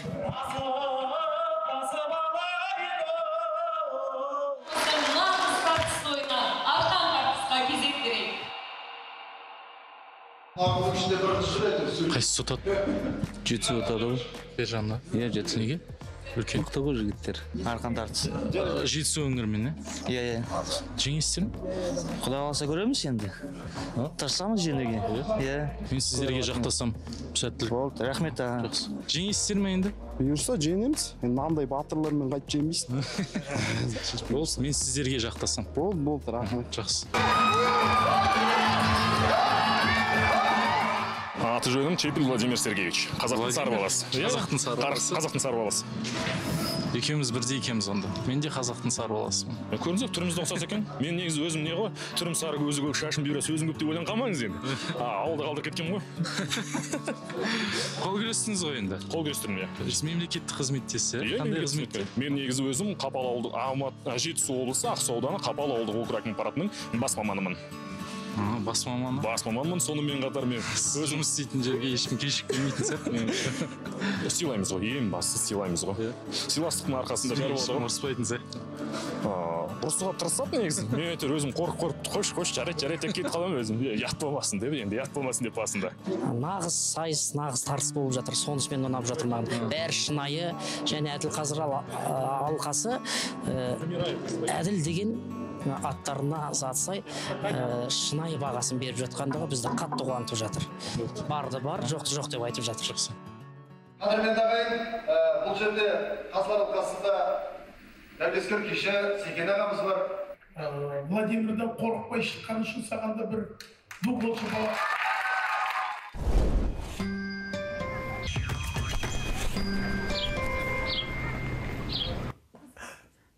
қайырлы таң құрметті көрермен. Тікелей эфирде хабар та- оян таңғы хабары. Студияда жұлдыз бен алмас. Біз кішкене жарыма уақытында кішкене өзіміз де тынығып кідіріп бар әзілдеп Ә, сондықтан ары қарай эфирімізді жалғастырсақ жаңа жарнамаға дейін иә біз мега жоба жеті қазына жобасы жайында айттық. Хабар арнасында төртінші қыркүйектен бастап сіздерге жол тартады біздің арнада. Енді сол ә, жобаның қазылар алқасының мүшесі қазақстан республикасының еңбек сіңірген қайраткері биші ә, тағы да айталып өтейін Ж- ә, жеті қазына жобасы жобасының қазылар алқасының мүшесі шұғыла сапарғалиқызы. Біздің студияға қонақ болып келіп отыр келіңіз. Қайырлы таң. Оян бірге. танысыпсыздар. Қош келдіңіз. Не сіздермен тамаша. оян деген иә ортаға жайғасайық төрлетіңіз. Керемет. Орындарыңызбен ауысып кете салдыңыздар ма? Иә. Отыра беріңіз. Дәл Отыра менің де беріңіз, қалай ыңғайлы? нем бар еді бір тамаша біздің оян осы. Қайырлы таң. Қайырлы таң, қалыңыз қалай көңіл күйіңіз қалай? Аллаға шүкір. Керемет өте өте сұлу болып келдіңіз. Әдеттегідей. А, енді жоба жайлы сұрасақ сізден иә? Жаңа ғана біз сюжетте құдайбергеннің қыздарды көрдік. Сұлу әдемі киінген. Жалпы енді сіз қазылар алқасында отырғаннан кейін өзіңіз маман болғаннан кейін иә неге мән бересіз? Енді ә, сіздердің мынау хабар агенттігінің мынау бір жеті қазына деген керемет бір жоба басталып отыр енді.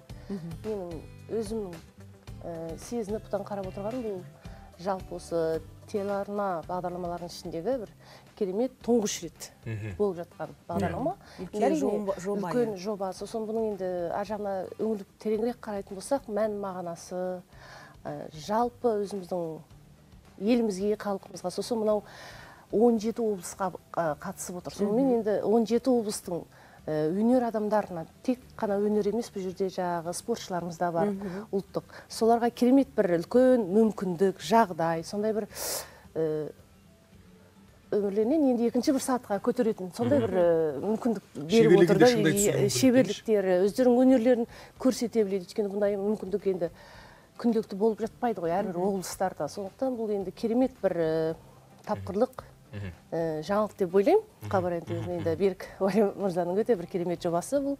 Жақсы. Сондықтан бұл жерге сондай керемет ә, біз күнделікті өзіміздің жұлдыздарды көріп отырамыз телевизорда.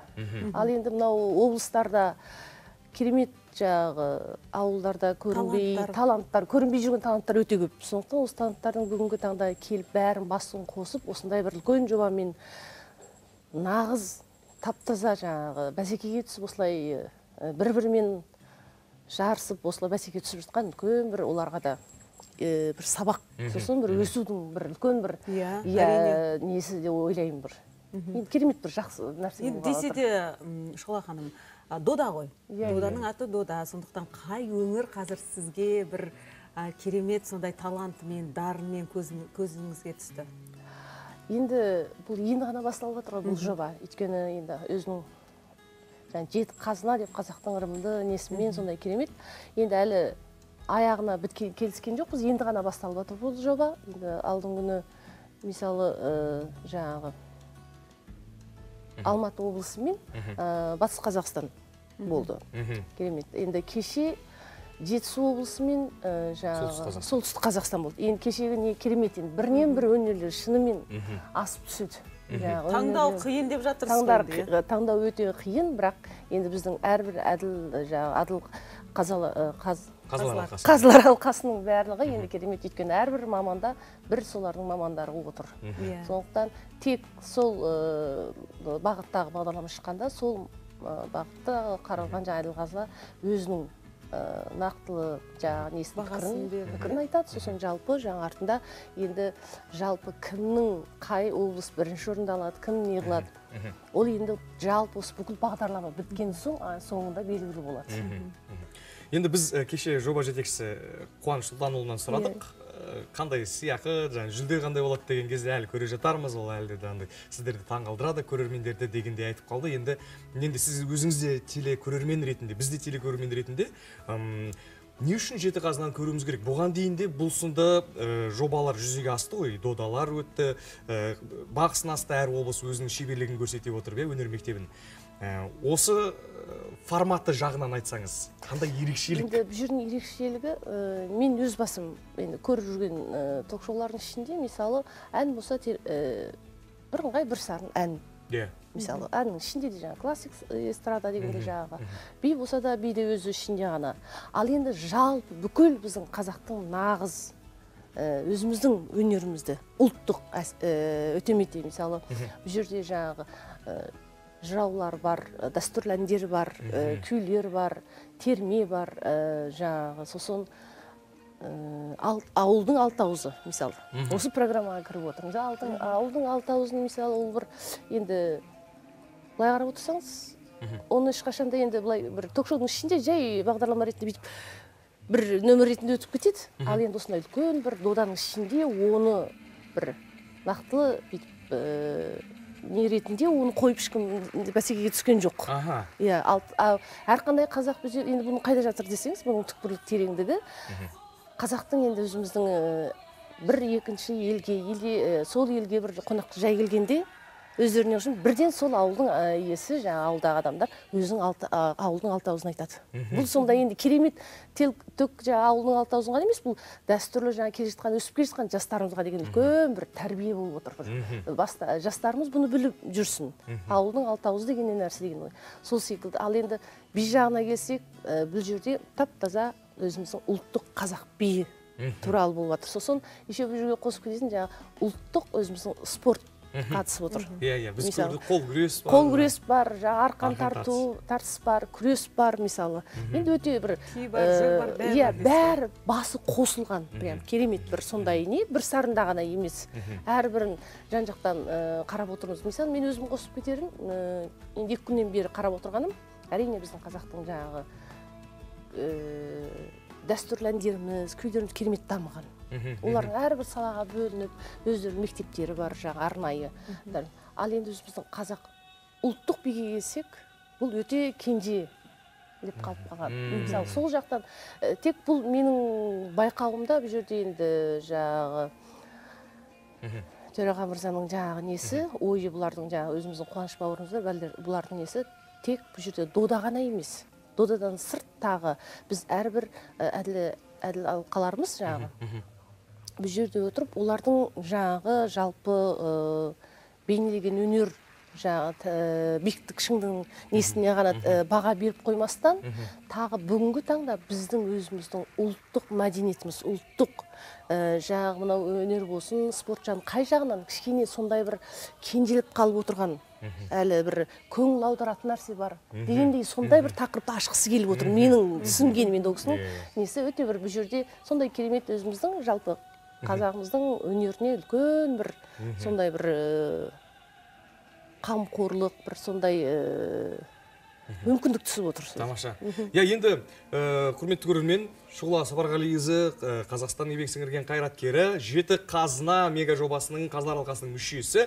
Енді бұл жоба расымен де отбасымен отырып тамашалауға арналған ә, өз өңіріңіздің өнерпаздарына отырып жанкүйер болуға арналған деген сияқты. Және де біз енді көбіне 22 наурыз деген сияқты бір мерекелерге арналған кезде ғана көріп қаламыз сондайларды. Ал бұл жолы хабар арнасы сіздерге осындай ұлттық өнерімізді дәріптейтін жоба ұсынбақшы. Төртінші қыркүйектен бастап әр жексенбі хабарда болыңыздар. Жеті қазына жобасы сіздерге ұсынылады. Біз қазір ә, әлі жалғастырамыз.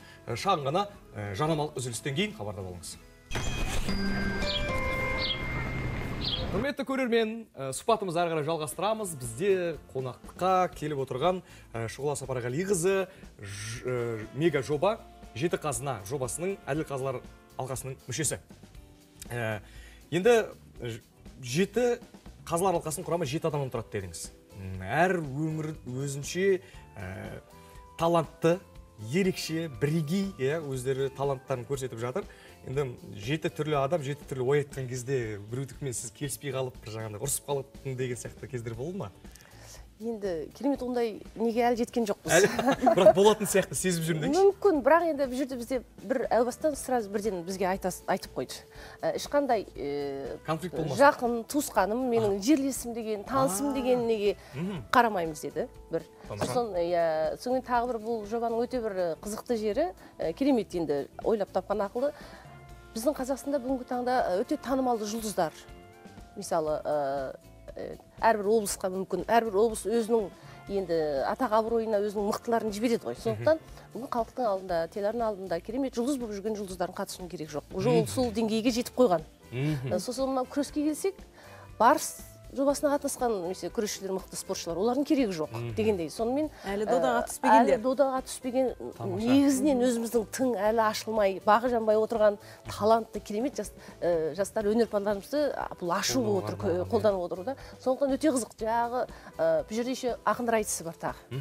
Иә өте қызық өйткені бәрі ақындар айтысы енді бұл жерде бәрі тірідей әншілеріміз де жаңағы ә, күліп енді сөздеріне керемет анау ақындар айтысында жаңағы Су жігіттер иә сондай ғой. Олар отырады да бірден өздерінің жерлерін қай облыстан келген екенін мақтап сосын ә, керек десең кей кезде жаңағы өзіміздің ә, жаңағы әділ қазылардың біреусін қосып жібереді. кішкене немене енді ә, бәріміз адамбыз ғой. Одан кейін Иә, сондай біз оған күліп жаңағы керемет енді сондай бір қызықты жаңағы күрестің өзінде де біз соған кіріп кетеміз бәріміз.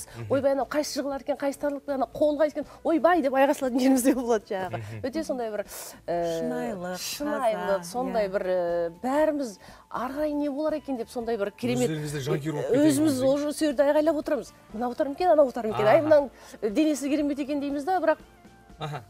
ал ойлаған кезде анау шыға келеді. Мысалы сәл денесі мысалы иә, мынау иә. күткеніңізде болмай қалады. Иә сондай бір нелер бар. сондықтан меніңше бұл керемет бір енді халыққа да сондай бір қызықты сондай бір келесі аптада не болар екен кім озар екен қайсысы басым түсер екен деген бір сондай бір ә, асыға күтіп сол әрбір жексенбіде енді берлинде болып отыр ғой бұл бағдарлама. Сол әр жексенбі келгенше сол асыға күтіп отыратындай бір бағдарлама болады деп отырмын мен. Шұғыла ханым енді құрметті көрермен өздеріңіз сезіп отырған шығарсыздар иә Қызықтырып ханымның әңгімесінен. атмосфера деген ол жерде керемет. Сол атмосферамен біз де төртінші қыркүйектен бастап бөлісеміз. Өздеріңіз куә боласыздар. Жеті қазына мега жобасында. Ә, сізге көп рахмет айтамыз. Келгеніңізге. Енді қазар алқасы сәйкесінше жеңімпаздарды анықтап береді деген сенімдеміз. Біз Әрине. өзіміз де қарап жанкүйер боламыз. Жүз пайыз иә. Ә, күніңіз сәтті өтсін дейміз. Жалпы жоба ә, сәтті болсын жақсы аяқталсын деп тілейміз. Ал біздің эфир осымен тәмам құрметті көрермен. Күндеріңіз сәтті өтсін сәтті өтсін. Айналамыздағылар аман төңіректегілер түгел болсын дейміз. Біз тек ертеңге дейін қоштасамыз. Иә. күндеріңіз нәтижелі болсын. Оян да хабарды қос.